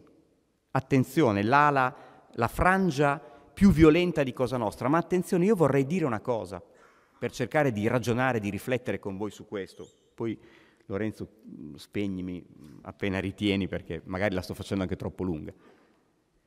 Allora, i corleonesi a metà degli anni 70 erano una frangia minoritaria e debole della catena di Cosa Nostra, perché c'era il gruppo palermitano, avrete sentito parlare a volte di Buscetta, di, eh, scusate, di Bontade, Inzerillo. Allora, quando comincia la guerra di mafia, nel 78, ci sono due fazioni in campo, una i corleonesi e l'altra i palermitani, ma il divario era come se in una partita di calcio ci fossero il Corleone e la Juventus. Palermitani erano la Juventus. Eppure i corleonesi vincono la guerra di mafia, riescono a vincere la guerra di mafia. È una partita truccata. È una partita truccata. Alcuni processi dimostreranno, ad esempio, che alti vertici della polizia favorivano una fazione rispetto all'altra. Quando accade questo è complicato per la squadra che è in campo, perché se ti arrestano tutti i giocatori, poi gli altri giocano da soli, è facile che facciano gol. È successo questo. I corleonesi vincono la guerra di mafia probabilmente perché c'era un progetto su di loro. Ma al di là di questi tentativi di ricostruzione. Eh, quello del 92-93 è un periodo drammatico, io credo sia un periodo di violenza politica, perché in realtà eh, il fatto stesso che ancora oggi ci siano dei pezzi mancanti, delle verità nascoste, delle difficoltà continue nel ricercare quella verità, significa che ci sono dei forti anticorpi per arrivare alla, verità e gli anticorpi stanno in tutte le postazioni, in tutte le postazioni strategiche, in tutte le postazioni importanti. E vorrei dire un'ultima cosa, eh, perché Giancarlo diceva, io 23 anni fa quando sono sceso a Palermo, la mafia aveva certe caratteristiche ed era forte, poi abbiamo fatto tanto, ma oggi dopo 23 anni mi trovo che ancora ci sono problemi fortissimi, anche per la nostra democrazia, aggiungo io, a causa delle presenze mafiose in tutto il nostro paese. Anche perché molte cose sono cambiate e nel nord adesso le presenze sono forti, significative. E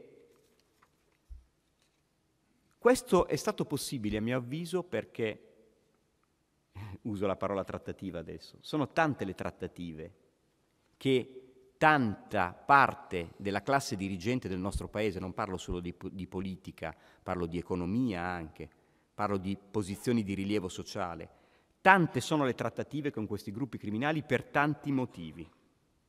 Io credo che questa sia una storia di fragilità della nostra classe dirigente. Lo dico con tre esempi telegrafici basati su alcune piccole esperienze professionali che ho fatto.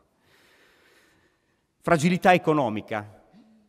Tra i processi di cui mi sono occupato ce n'è uno che è stato definito il patto del tavolino. Erano imprenditori e mafiosi che si spartivano la torta degli appalti pubblici in Sicilia. Allora, a questo tavolino partecipavano anche alcuni manager di un gruppo importantissimo per la vita economica del nostro paese, che sono stati condannati con sentenza definitiva, quindi non dico nulla di clamoroso e di eclatante, che era il gruppo Ferruzzi Gardini. Ma allora, se il gruppo Ferruzzi, se alcuni pezzi deviati del gruppo Ferruzzi Gardini fanno affari, facevano affari con il ministro del, degli appalti pubblici di Cosa Nostra, Sino, quindi Rina, vuol dire che il nostro sistema economico ha dei problemi di fragilità seri. Fragilità sociale. Guardate, tra i tanti processi per estorsione che si fanno, emerge dalle intercettazioni un dato ormai costante da tanti anni. I mafiosi grossi, quando chiedono il cosiddetto pizzo, ormai non chiedono più somme di denaro, chiedono posti di lavoro, chiedono 20 posti di lavoro, 30 posti di lavoro al supermercato, quando taglieggiano il supermercato. Questo cosa significa? Significa che il nostro sistema legale delle imprese e il nostro sistema anche delle eh, nostre strutture pubbliche che possono anche garantire lavoro assieme al, al, circuito delle imprese legali, non sono in grado di dare delle risposte convincenti a livello di occupazione. Fragilità politico-istituzionale. Anche qui due esempi telegrafici e giuro ho finito. Provenzano latitante nel 2003, braccato da tutte le polizie del regno. Ad un certo punto ha una grave malattia. Deve necessariamente operarsi. Decide di non farlo in uno dei tanti ospedali della Sicilia dove magari in molti dei quali ha pure nominato il primario, ma il problema della sanità e delle organizzazioni mafiose è un problema serio in, in diverse regioni d'Italia. Lui decide di andarsi a operare a Marsiglia, ma per fare tutto questo ha bisogno di un documento falso. Quel documento falso glielo fa il presidente di un consiglio comunale di un comune nell'Interland di Palermo. Un piccolo fatto un piccolo fatto. Ce n'è un altro, un po più, questo un po' più grande, soprattutto per quello che è venuto fuori dopo, per capire, soprattutto i più giovani. Nel 2001 Provenzano era ancora latitante. Ad un certo punto c'è un boss agli arresti domiciliari, un certo dottor Guttadauro, agli arresti domiciliari per motivi di salute, che nel salotto di casa sua, in realtà, nel cui salotto di casa sua viene piazzata una cimice.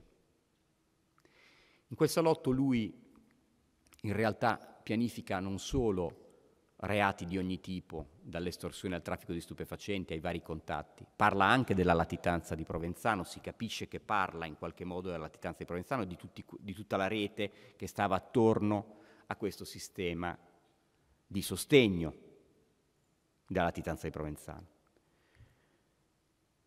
Bene, si scopre che in questo salotto ad un certo punto questo salotto è frequentato anche da alcuni politici locali. Ma ad un certo punto è decisivo un politico siciliano che gli fa arrivare la notizia che nel salotto di casa sua c'è la cimice e che quindi con quella notizia indirettamente brucia anche una possibile pista per consegnare Provenzano alla giustizia.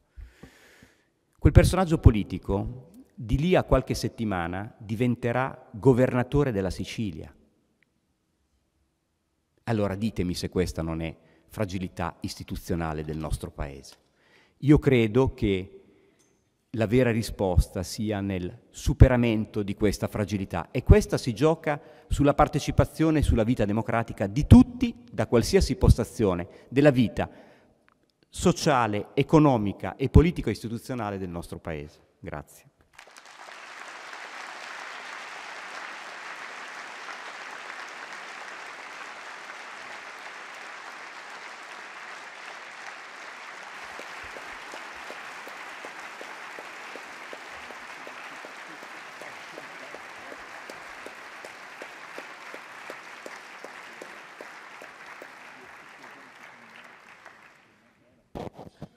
Declino della mafia, più volte annunciato, non si è verificato e non è purtroppo prevedibile nemmeno. È vero che non pochi uomini d'onore, diversi dei quali di importanza primaria, sono in atto detenuti. Tuttavia, i vertici di Cosa Nostra sono latitanti e non sono sicuramente costretti all'angolo. Le indagini di polizia giudiziaria ormai da qualche anno hanno perso di intensità e di incisività a fronte di un'organizzazione mafiosa sempre più impenetrabile e compatta. Malgrado i processi e le condanne, risulta da inchieste giudiziarie ancora in corso che la mafia non ha abbandonato il traffico di droga e di eroina che comincia a interessarsi sempre più alla cocaina e si hanno notizie precise di scambi tra eroina e cocaina già in America, col pericolo incombente di contatti e collegamenti, la cui pericolosità è intuitiva, tra mafia siciliana e altre organizzazioni criminali italiane e sudamericane. Le indagini per l'individuazione dei canali di riciclaggio del denaro proveniente dal traffico di stupefacenti sono rese molto difficili, sia a causa di una cooperazione internazionale ancora insoddisfacente, sia per il ricorso da parte dei trafficanti a sistemi di riciclaggio più sofisticati. Questa la situazione attuale che a mio avviso non legittima alcun trionfalismo.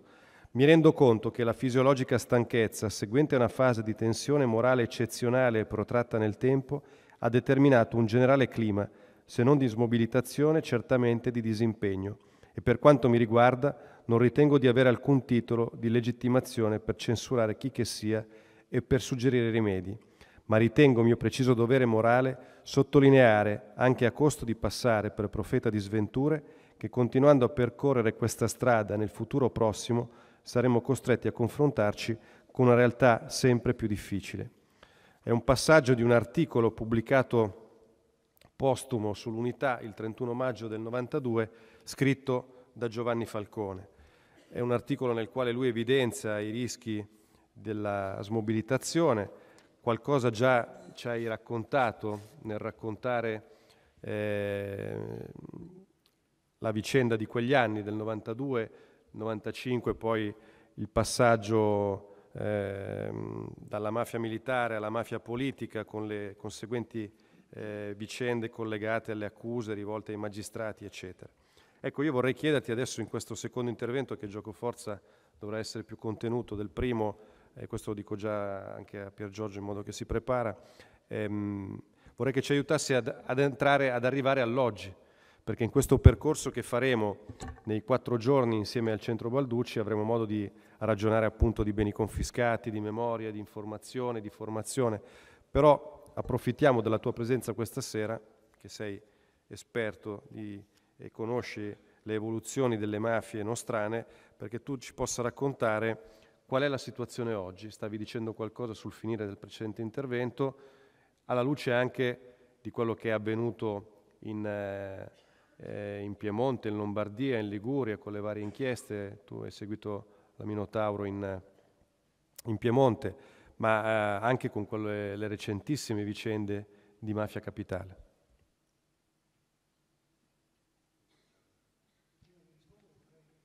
Ricollegarmi un attimo alle cose estremamente interessanti, eh, motivate sulla base di un'esperienza diretta che ha detto Morosini. Ma prima ancora un intervento scherzoso, ecco. Morosini ha detto, e lo ringrazio, eh, che uno dei motivi, una delle spinte a venire a lavorare a Palermo era l'atmosfera che esisteva in quel momento, il clima di cui facevo parte anch'io. Beh, non l'ha raccontata tutta perché me l'ha fatta pagare, perché giocavamo spesso a tennis insieme e mi lasciava qualche game, ecco, perché mi trattava sempre, vista la differenza che c'era di abilità, senza risparmiarmi assolutamente nulla. Seconda cosa, giuste le considerazioni che sono state fatte prendendo spunto dalla trattativa sullo sfascio o perlomeno sulle, sui riflessi sulla politica, sul sociale, sull'economia. Però io sarò monomaniaco, anzi lo sono, ma non riesco a capire perché nel nostro paese, quando abbiamo a che fare con questi problemi, la cui portata, le cui dimensioni, i cui riflessi Morosini ci ha così bene esposto, di Andreotti e di Dell'Utri praticamente non parliamo mai Eppure l'uno e l'altro sono stati riconosciuti con sentenza di Cassazione definitiva.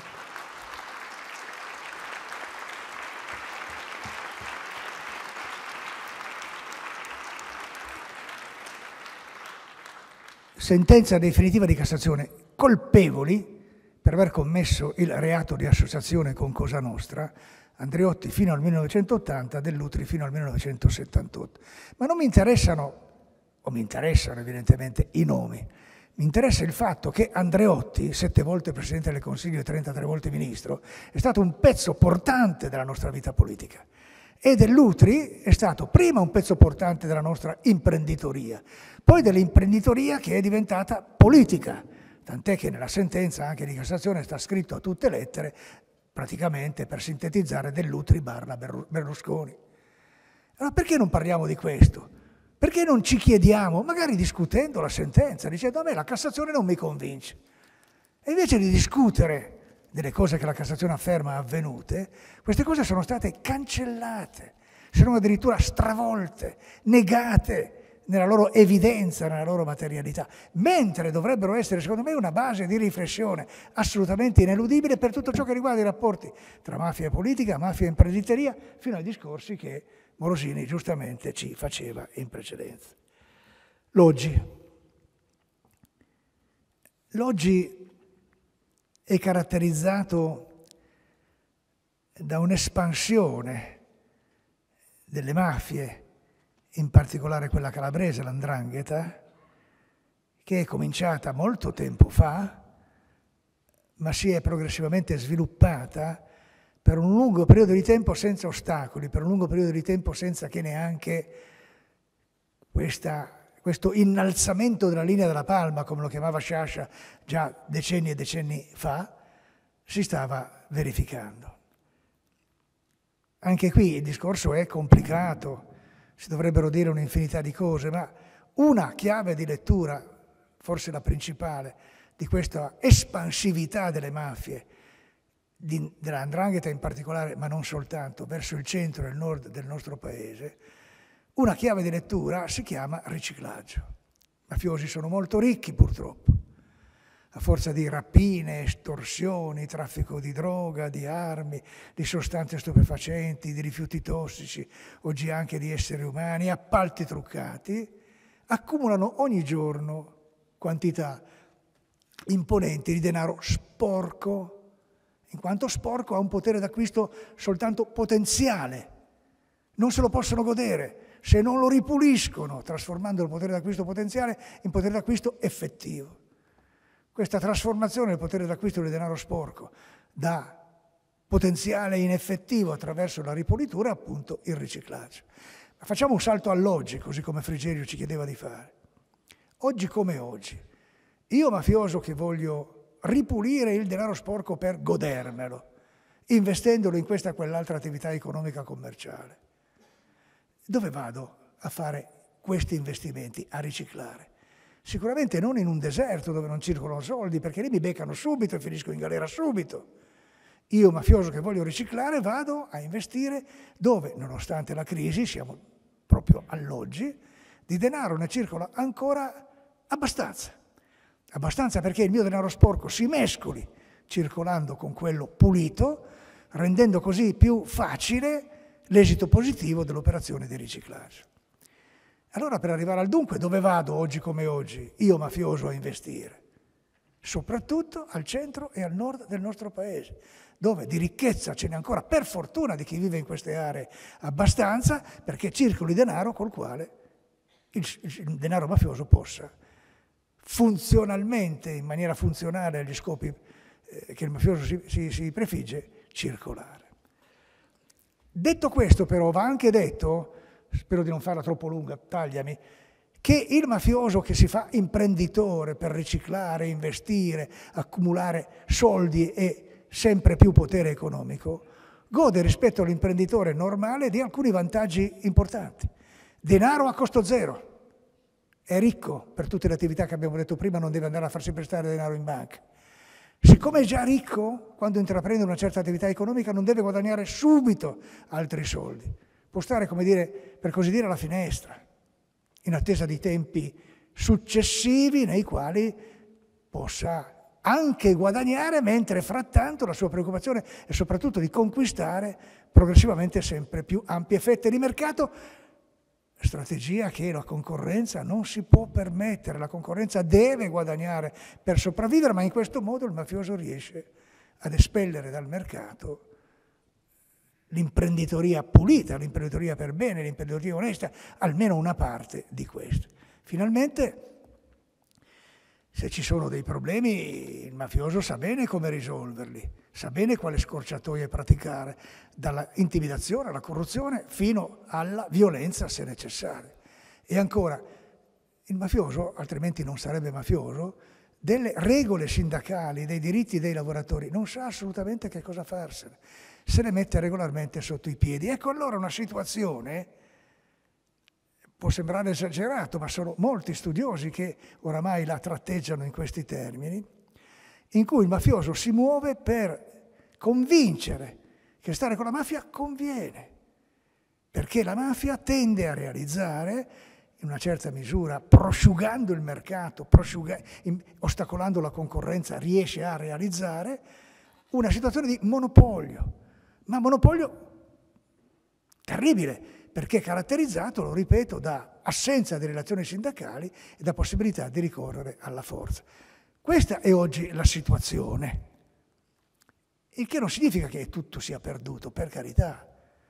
Lo ha detto Morosini, non si può che sottoscrivere, si può, si può, si può contrastare questo fenomeno, anche per quanto riguarda la sua potenza economica, purché lo si voglia ci si organizzi tutti insieme, facendo squadra, politici, amministratori, informazione, magistrati, forze dell'ordine, chiesa, eh, intelligenza e via seguitando, perché ciascuno metta a disposizione, metta in campo la sua intelligenza, la sua sensibilità, le sue conoscenze, la sua esperienza, così da integrare tutto questo in un blocco unico che contribuisca a vederci più chiaro, ad individuare il fenomeno quando si manifesta, quando si profila e poi intervenire con le misure più efficaci una volta tracciati i contorni. Del... È possibile, è possibile.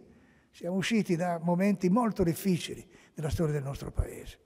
Possiamo uscire anche da questo, che è difficile, ma non è irredimibile, per usare ancora una volta un'espressione di Sciasci.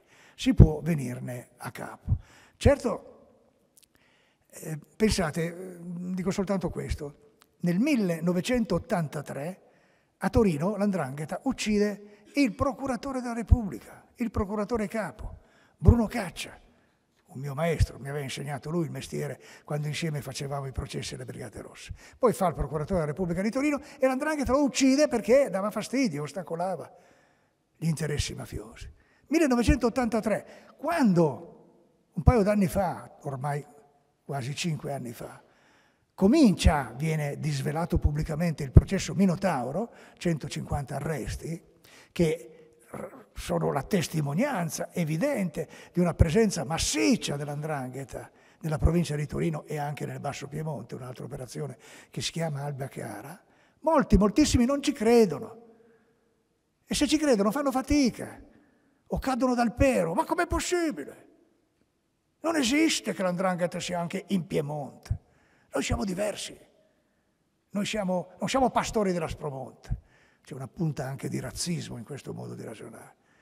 E cadendo dal pero, hanno, in quel momento, danno la prova, la testimonianza che non hanno mai visto niente prima, anche quando possedevano le leve per vedere, capire e intervenire. Allora ecco siamo di nuovo alle solite, ci vuole un patto di unità, ci vuole unità di intenti, ci vuole un'azione comune, bisogna fare squadra, tutti devono voler fare squadra. E invece ci sono tanti, tantissimi, che preferiscono, nonostante le dichiarazioni solenni, roboanti, le trombonate quotidiane, stare dalla parte di quella mafia con la quale qualche volta essere, fare affari conviene molto. Perché Pecunia non olet, sono ancora tanti che ragionano così. Il denaro non ha odore, basta far soldi. Poi se per far soldi devo anche così andare sotto braccio o avere dei contatti più o meno stretti, più o meno organici con la mafia, eh, chi se ne importa? A me interessa, pecunia non olet, andare avanti e questo nei momenti di crisi economica è purtroppo particolarmente diffuso, ma bisogna saperlo, perché anche questo si può fronteggiare con una serie di misure, di interventi, anche di carattere culturale, anche di carattere sociologico, soprattutto di carattere politico, eh, sull'onda, nella scia di quello che Morosini ci ha esposto.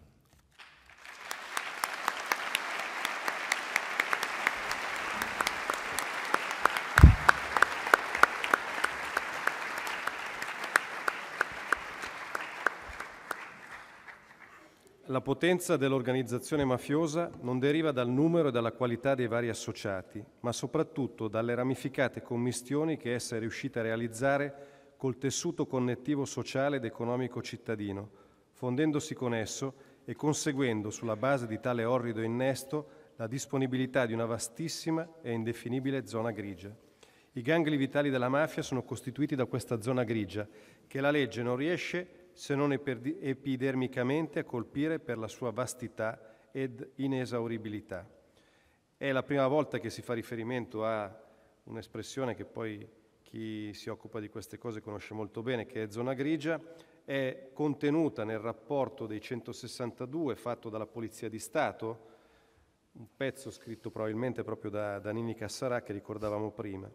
E consci della pericolosità di questa zona grigia, grazie al lavoro di uomini delle forze dell'ordine che pagarono con la vita, magistrati come Rocco Chinnici, Antonino Caponnetto, Giovanni Falcone, Paolo Borsellino affinarono gli strumenti processuali e i riscontri investigativi, arrivando a costruire quell'atto fondamentale per il contrasto alle mafie che prima tu ricordavi, cioè l'ordinanza di rinvio a giudizio contro gli, i 475 imputati accusati di associazioni di tipo mafioso, depositata l'8 novembre 1995.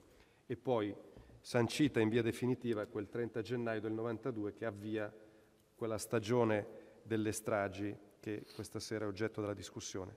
Ecco a te che oggi, dopo aver avuto ricoperto vari incarichi all'interno della magistratura, sul campo, sei sempre sul campo, ma diciamo nella cabina di regia al Consiglio Superiore della Magistratura, di quella che dovrebbe essere la cabina di regia al Consiglio Superiore della Magistratura, a te chiedo un, un parere su questa eh, vituperata zona grigia, ma soprattutto eh, vorrei che tu ci aiutassi a capire dove sta andando la giustizia, dove sta eh, portando questa lunga stagione anche di impegno della magistratura in quelle regioni del nord che prima venivano ricordate, non dimenticandoci che la partita ha diversi campi sui quali giocare, non c'è solo il campo romano, ma c'è anche il campo appunto del nord e c'è il campo del, del sud. Eh, sappiamo poi che proprio le ragioni tue di impegno nel Consiglio Superiore ti porteranno domani in quella Palermo dove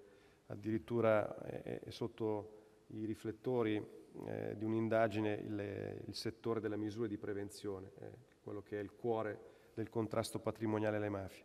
Aiutaci a capire dove sta andando la giustizia, a partire proprio dalla difficoltà di contrastare quella zona grigia. È difficile capire, davvero bisognerebbe avere la sfera di cristallo, ma vorrei partire da, da un esempio concreto. Mi è piaciuto molto il passaggio di Giancarlo quando faceva riferimento a, a delle punte anche di razzismo nel linguaggio, quando si commentano determinati fatti e direi di più, quando si descrivono determinati fatti. Guardate, un'espressione molto in voga anche nelle, negli eventi di dibattito nel centro-nord, un'espressione in voga è quella le infiltrazioni mafiose nel, nella tal regione del nord. Infiltrazione, il termine infiltrazione, ha in sé peraltro una matrice etica, cioè presuppone una superiorità morale dell'infiltrato rispetto al corpo estraneo che finisce per contaminarlo. Ma partiamo da un dato. Ci sono in questo momento significative realtà imprenditoriali del nord che la mafia la cercano. La cercano loro, nessuno gli chiede il pizzo, Eh, parlo, faccio un esempio specifico sulla base di atti che sono, si sono poi tradotti anche in pronunce diventate irrevocabili. Parlo della realtà delle imprese chimiche del centro nord, del nord in particolare, cioè quelle imprese che hanno la necessità di smaltire eh, materie, materiali come il cadmio, lo zinco, gli scarti di vernice, il piombo.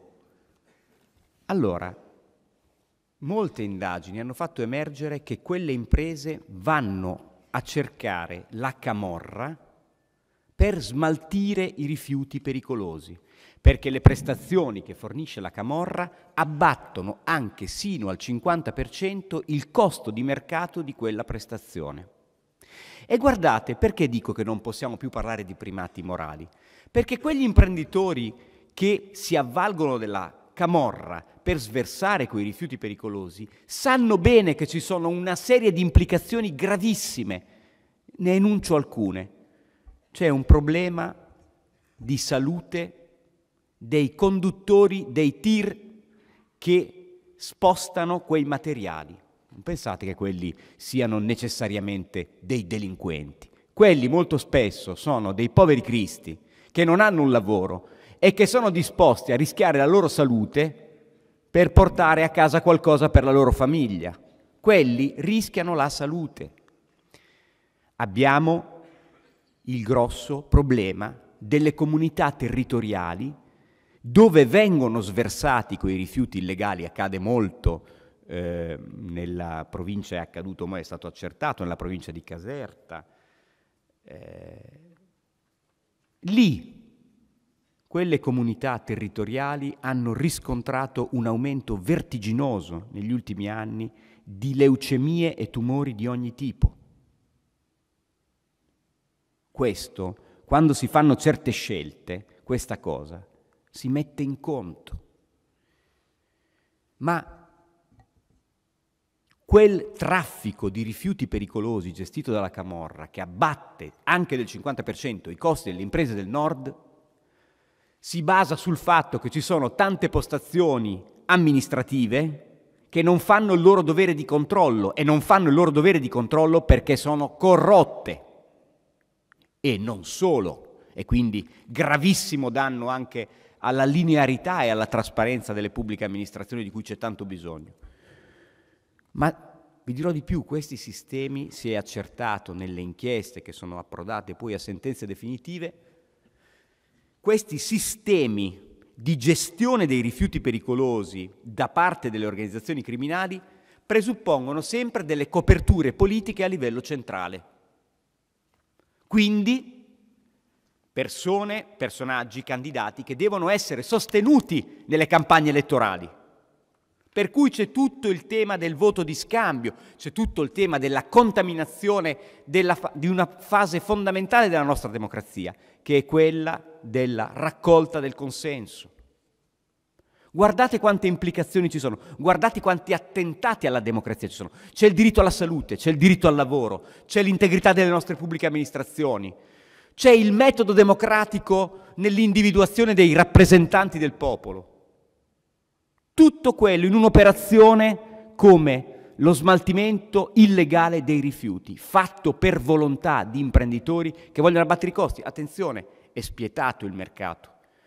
Quelli abbattono i costi e si salvano i salvati. Gli altri, che si comportano in maniera corretta, legale, muoiono imprenditorialmente.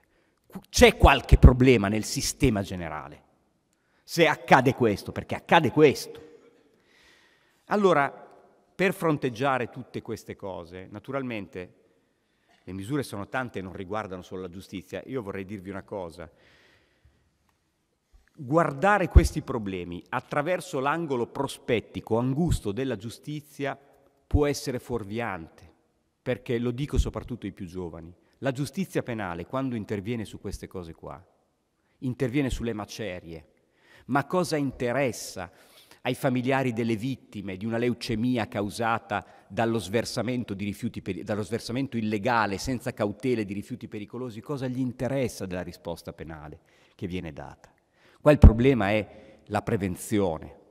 Allora, guardate, ancora noi non abbiamo un sistema di pubbliche amministrazioni in grado di fare un'attività seria di prevenzione come, ad esempio, eh, ponendo in essere una rotazione tra i funzionari delle pubbliche amministrazioni che si trovano in postazioni decisive rispetto a certe forme di controllo. Penso ad esempio a tutti gli affari che adesso, io poi sono stato 21 anni in Sicilia, ma sono di origine romagnola. In Emilia-Romagna i grossi problemi in questo momento sono le pubbliche amministrazioni, le autorizzazioni nell'edilizia privata e nell'urbanistica. In questi casi si è scoperto, le indagini recenti hanno scoperto che ci sono dei funzionari negli uffici tecnici, quelli che danno l'autorizzazione costruisci, non costruisci, che sono lì da 30 anni.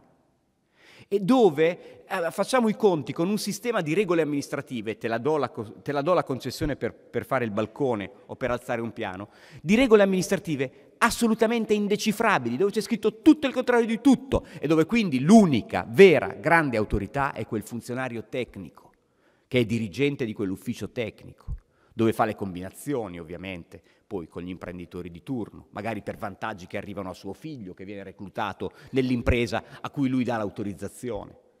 Eh, ma dove, dove ci sono queste cose qua? Lì arriva la mafia oggi, sicuro, è matematico, dove ci sono dei punti di vulnerabilità del sistema legale, lì è dimostrato che arrivano le organizzazioni mafiose.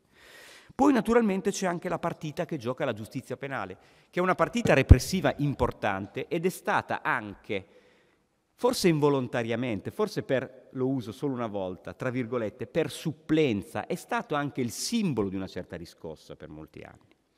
Allora, sotto questo profilo, va detto che sono passate le stagioni, sono cambiati i governi, ci sono governi di segno diverso ma ci sono dei problemi che si riproducono, hanno la tendenza a riprodursi. Io in questo anno, in questo primo anno di Consiglio Superiore della Magistratura, mi sono occupato delle, di fare i pareri sulle riforme. Ero nella commissione che faceva questo. E guardate, ci sono stati dei momenti di frizione con dei parlamentari dell'attuale maggioranza che sono stati fortissimi ad esempio sulla legge anticorruzione. Noi ci ricordiamo di essere in Europa eh, a singhiozzo, diciamo. Noi dovevamo varare una legge anticorruzione seria di sistema in Italia dal 1999 perché abbiamo sottoscritto come Italia una convenzione di Strasburgo che vincolava tutti i paesi che l'avevano sottoscritta e sostanzialmente per 16 anni non abbiamo, non abbiamo fatto una legge organica anticorruzione. Ma nonostante si sia arrivati a una legge anticorruzione, specifica anticorruzione, ancora i passaggi a vuoto, le defiance sono a mio modestissimo avviso vistosi. Un esempio, eh, questa convenzione di Strasburgo prevede un istituto investigativo molto importante, si chiama test di integrità, ma sono i cosiddetti agenti provocatori. È un qualcosa che il modello europeo ha mutuato dagli Stati Uniti. Voi dovete sapere che cinque anni fa il sindaco di Washington è stato arrestato in diretta per non aver superato il test di integrità. Che cos'è il test di integrità? È una cosa molto semplice un poliziotto in borghese comincia una trattativa con un amministratore che è sospettato di, fare, di, corro- di, sospettato di corruzione, di vendersi gli atti amministrativi e ad un certo punto decide di fargli un'offerta corruttiva. Questa offerta corruttiva viene accolta. Il sindaco di Washington è tranquillo perché non ha capito che c'è un'indagine dietro. Ad un certo punto questo poliziotto in borghese si presenta dal sindaco negli uffici del sindaco con una valigetta piena di dollari. Entra nella sua stanza, si fa prima annunciare dalla segretaria, entra nella stanza e avviene tutto, questo poliziotto ha una videocamera nei bottoni della camicia, avviene tutto in pochissimo tempo, in, in, in tracce fulminee mostra la 24 ore al sindaco, apre, fa vedere che dentro ci sono i dollari, chiude, il sindaco avvicina a sé la valigetta e cerca di metterla nel cassetto. A quel punto scattano le manette, tac! E il sindaco di Washington è arrestato. In Italia con l'attuale legislazione, se un poliziotto fa una cosa del genere in carcere, prima di tutti ci va lui. E dire che noi abbiamo sottoscritto quella convenzione di Strasburgo che ce lo consentiva. No, di questo non si può parlare perché si parla di tradizioni diverse dalla nostra, ma la corruzione ormai ha delle forme di manifestazione simili a livello planetario. Noi però ci fermiamo di fronte a questo. C'è una volontà fino in fondo, una volontà, una determinazione forte rispetto a questo fenomeno, perché guardate, oggi parlare di mafia significa parlare soprattutto di tre cose. Evasione fiscale, riciclaggio e corruzione. E tutta questa roba qua. Quindi quella, la, la legislazione anticorruzione è importantissima. E polemiche a non finire perché ancora non abbiamo una legge anticorruzione che prevede in caso di condanna definitiva per corruzione l'interdizione perpetua dai pubblici uffici. Non c'è. Nell'ultima legge neanche questa cosa c'è. E poi ci sono le continue aggressioni alle intercettazioni. L'intercettazione è uno strumento fondamentale, ragazzi, per capire come sono andate le cose, ma talvolta per salvare delle vite umane anche. Un esempio banalissimo di un processo di cui mi sono occupato qualche anno fa. Dalle intercettazioni si capiva che c'era un imprenditore che costruiva con il cosiddetto cemento depotenziato. Ma cosa costruiva col cosiddetto cemento depotenziato, cioè quello friabile, quello che può cadere da un momento all'altro? Costruiva eh, immobili adiacenti a un aeroporto, commissariati e ospedali. L'ospedale col cemento depotenziato. L'intercettazione ha consentito di arginare questa cosa ma l'intercettazione è fondamentale come strumento investigativo, eppure è oggetto continuo di attacchi, continuo. Quanti anni sono che sulle intercettazioni c'è una battaglia all'ultimo sangue, all'ultimo sangue. La prescrizione, le norme sulla prescrizione attuali sono norme che l'Europa, sempre quell'Europa a cui spesso facciamo riferimento, l'Europa dice sono, le nostre sono assolutamente illogiche, irrazionali.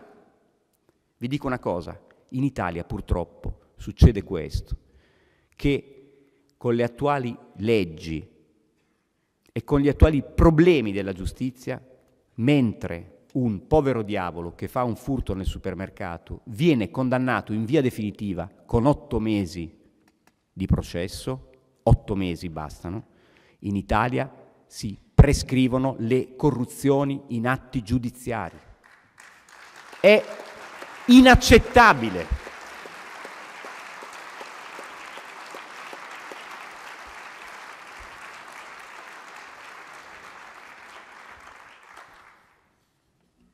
E così le misure di prevenzione.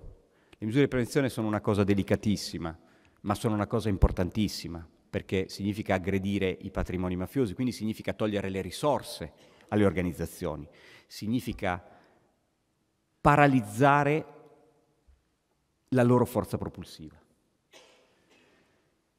E adesso siamo in un momento in cui, lo avrete letto alle notizie di stampa, in cui una postazione fondamentale per l'applicazione di questo strumento che è importantissimo, cioè la misura di prevenzione, è una postazione oggettivamente percepita in crisi. Io non, non sono legittimato a fare alcuna valutazione rispetto alle responsabilità penali e individuali perché ci sono delle autorità competenti che stanno facendo degli approfondimenti. Ma c'è un problema di credibilità di una istituzione e questo problema di credibilità dell'istituzione va affrontato a livello di sistema. Tutte le postazioni istituzionali che devono garantire la continuità di quella postazione giudiziaria devono fare il loro dovere a livello di scelte organizzative, anche scelte dolorose a volte. Occorre garantire la continuità di quel servizio e questo passa per scelte responsabili. È troppo importante, certo, poi deve arrivare questa benedetta legge sulle misure di prevenzione che consenta, che preveda una rotazione nella scelta degli amministratori giudiziari, una trasparenza nella scelta. Ad esempio, questi, quando vengono nominati, devono dire che tipo di incarichi hanno già in corso. Ed è chiaro che questi poi non possono affidare degli altri incarichi all'interno di quella misura o di altre misure a dei parenti magari di coloro che li nominano. È inaccettabile. È inaccettabile. Si perde, perde di credibilità tutto. Io sono ancora convinto che, grande, che di fronte ad un popolo che soffre, che potenzialmente potrebbe passare dalla parte sbagliata, la correttezza e la, corre- la correttezza e la coerenza della risposta alternativa siano un antidoto fortissimo nella prevenzione delle attività delle associazioni criminali. E poi si metta un tetto massimo ai compensi e si facciano controlli seri sulle liquidazioni dei compensi. Noi le, le, misure di prevenzione che arrivano prima delle sentenze penali sono le classiche misure da stato di eccezione, da stato di emergenza, cioè abbiamo la necessità di dare delle risposte efficaci, incisive. Dobbiamo pagare dei prezzi in termini di procedimenti e regole. Sì, però bisogna avere comunque un minimo di regole che garantisce la credibilità del sistema, sempre, che, abband- che allontana i sospetti. Su questo occorre lavorare moltissimo, io credo che le nostre associazioni, Lorenzo, tutti quelli che partecipano al dibattito pubblico su queste cose deb- debbano invocare con forza, so che Libera lo fa da tempo, questi interventi, per cui ci sono anche dei disegni di legge che sono anche abbastanza avanti, ma eh, bisogna approvarli e quindi su questo la spinta dell'opinione pubblica e delle associazioni deve essere fortissima. Eh, alla fine io penso questo, ho chiuso, l'ho fatto veramente lunghissima, scusatemi. Penso che noi per molti anni abbiamo immaginato il problema delle organizzazioni mafiose del nostro Paese come un problema di sicurezza fisica dei cittadini, cioè come un problema di pericolo per l'incolumità fisica dei singoli. Siamo un po' in ritardo nel pensare che invece questo nel pensare, nell'attrezzarci rispetto a un problema che invece è un problema di sicurezza esistenziale delle persone, che riguarda i bisogni economici, che riguarda molto nel sud le prestazioni sanitarie come diritto e non come favore, che riguarda la scuola, l'educazione. Le, sull'educazione si giocano delle partite incredibili. Quando il nostro Paese avrà chiara questa prospettiva, io penso che allora lì le mafie del nostro paese avranno i giorni contati. Grazie.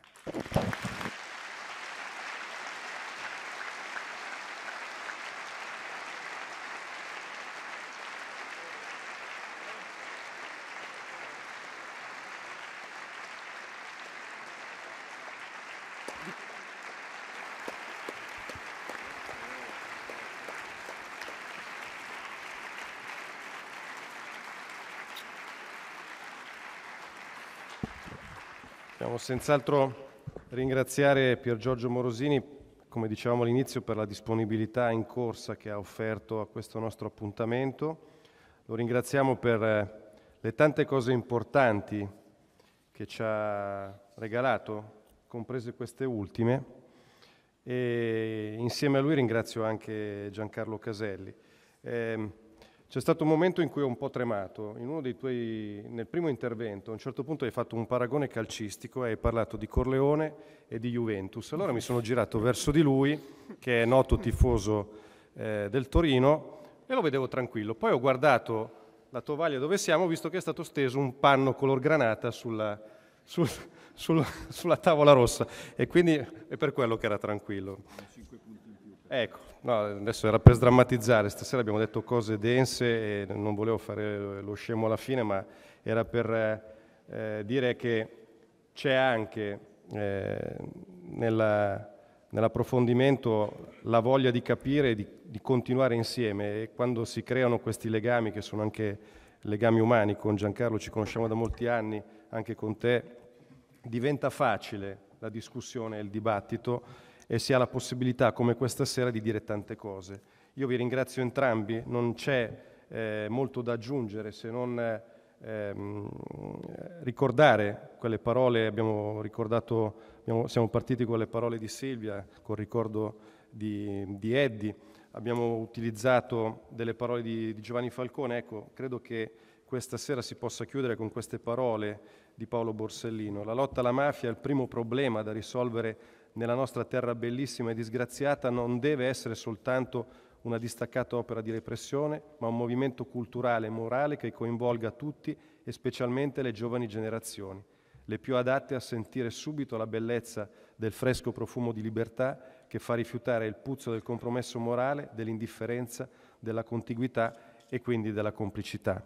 Grazie a voi, grazie a tutti e do la parola a Don Pierluigi che ci deve dare appuntamento solo, per i prossimi sì, giorni. Anch'io un saluto proprio cordiale, amichevole, pieno di gratitudine a Giancarlo Caselli, a Pier Giorgio Morosini, che adesso eh, forse dirà servirà poco, ma lo accompagniamo adesso con, con affetto, proprio grande riconoscenza, perché adesso deve ripartire per Bologna e domani mattina prendere un aereo per essere a Palermo alle 9, quindi questo gesto che lui ha fatto eh, noi veramente lo ricorderemo a lungo perché è notevole ecco, che lui sia qui. Quindi grazie a Giancarlo per la sua esperienza eh, così lunga, così tenace, insieme anche a Libera. E poi a Marina e a Silvia e stavolta non sbaglio il nome, Lorenzo, certamente, perché la presenza di Roberto Scarpinato c'è stata e domani lo sentirò e gli dirò come è andata la serata e i giorni prossimi sono eh, giorni intensi, di appuntamenti importanti, ecco, non ricordo tutti i nomi, c'è un evento domani sera, poi, dato che si parlava dei giovani, eh, sabato mattina il centro Balducci sarà riempito da 470 giovani, eh, saranno loro protagonisti, altri interventi poi nel pomeriggio del sabato, anche lo spettacolo teatrale con Maddalena Stornaiolo e Rosario Esposito La Rossa sabato sera e domenica mattina eh, libera del Friuli Venezia Giulia per eh, dare notizie di quello che sta avvenendo nella nostra eh, regione, due brevi interventi, ma uno in particolare, quello di Don Mario Vatta, che è stato il primo in Friuli Venezia Giulia, pochi giorni, due giorni dopo che era nata Libera, a recarsi a Torino e a dare l'adesione, lui e la comunità di San Martino al campo. Pochi giorni dopo a Trieste ci fu un affollatissimo incontro con Luigi, con Don Luigi Ciotti, appunto Giancarlo Caselli e poi eh, concluderà ecco, Don Luigi Ciotti e pranzeremo tutti insieme sotto il tendone, come sempre tutti sono invitati. Grazie a tutti e buonanotte.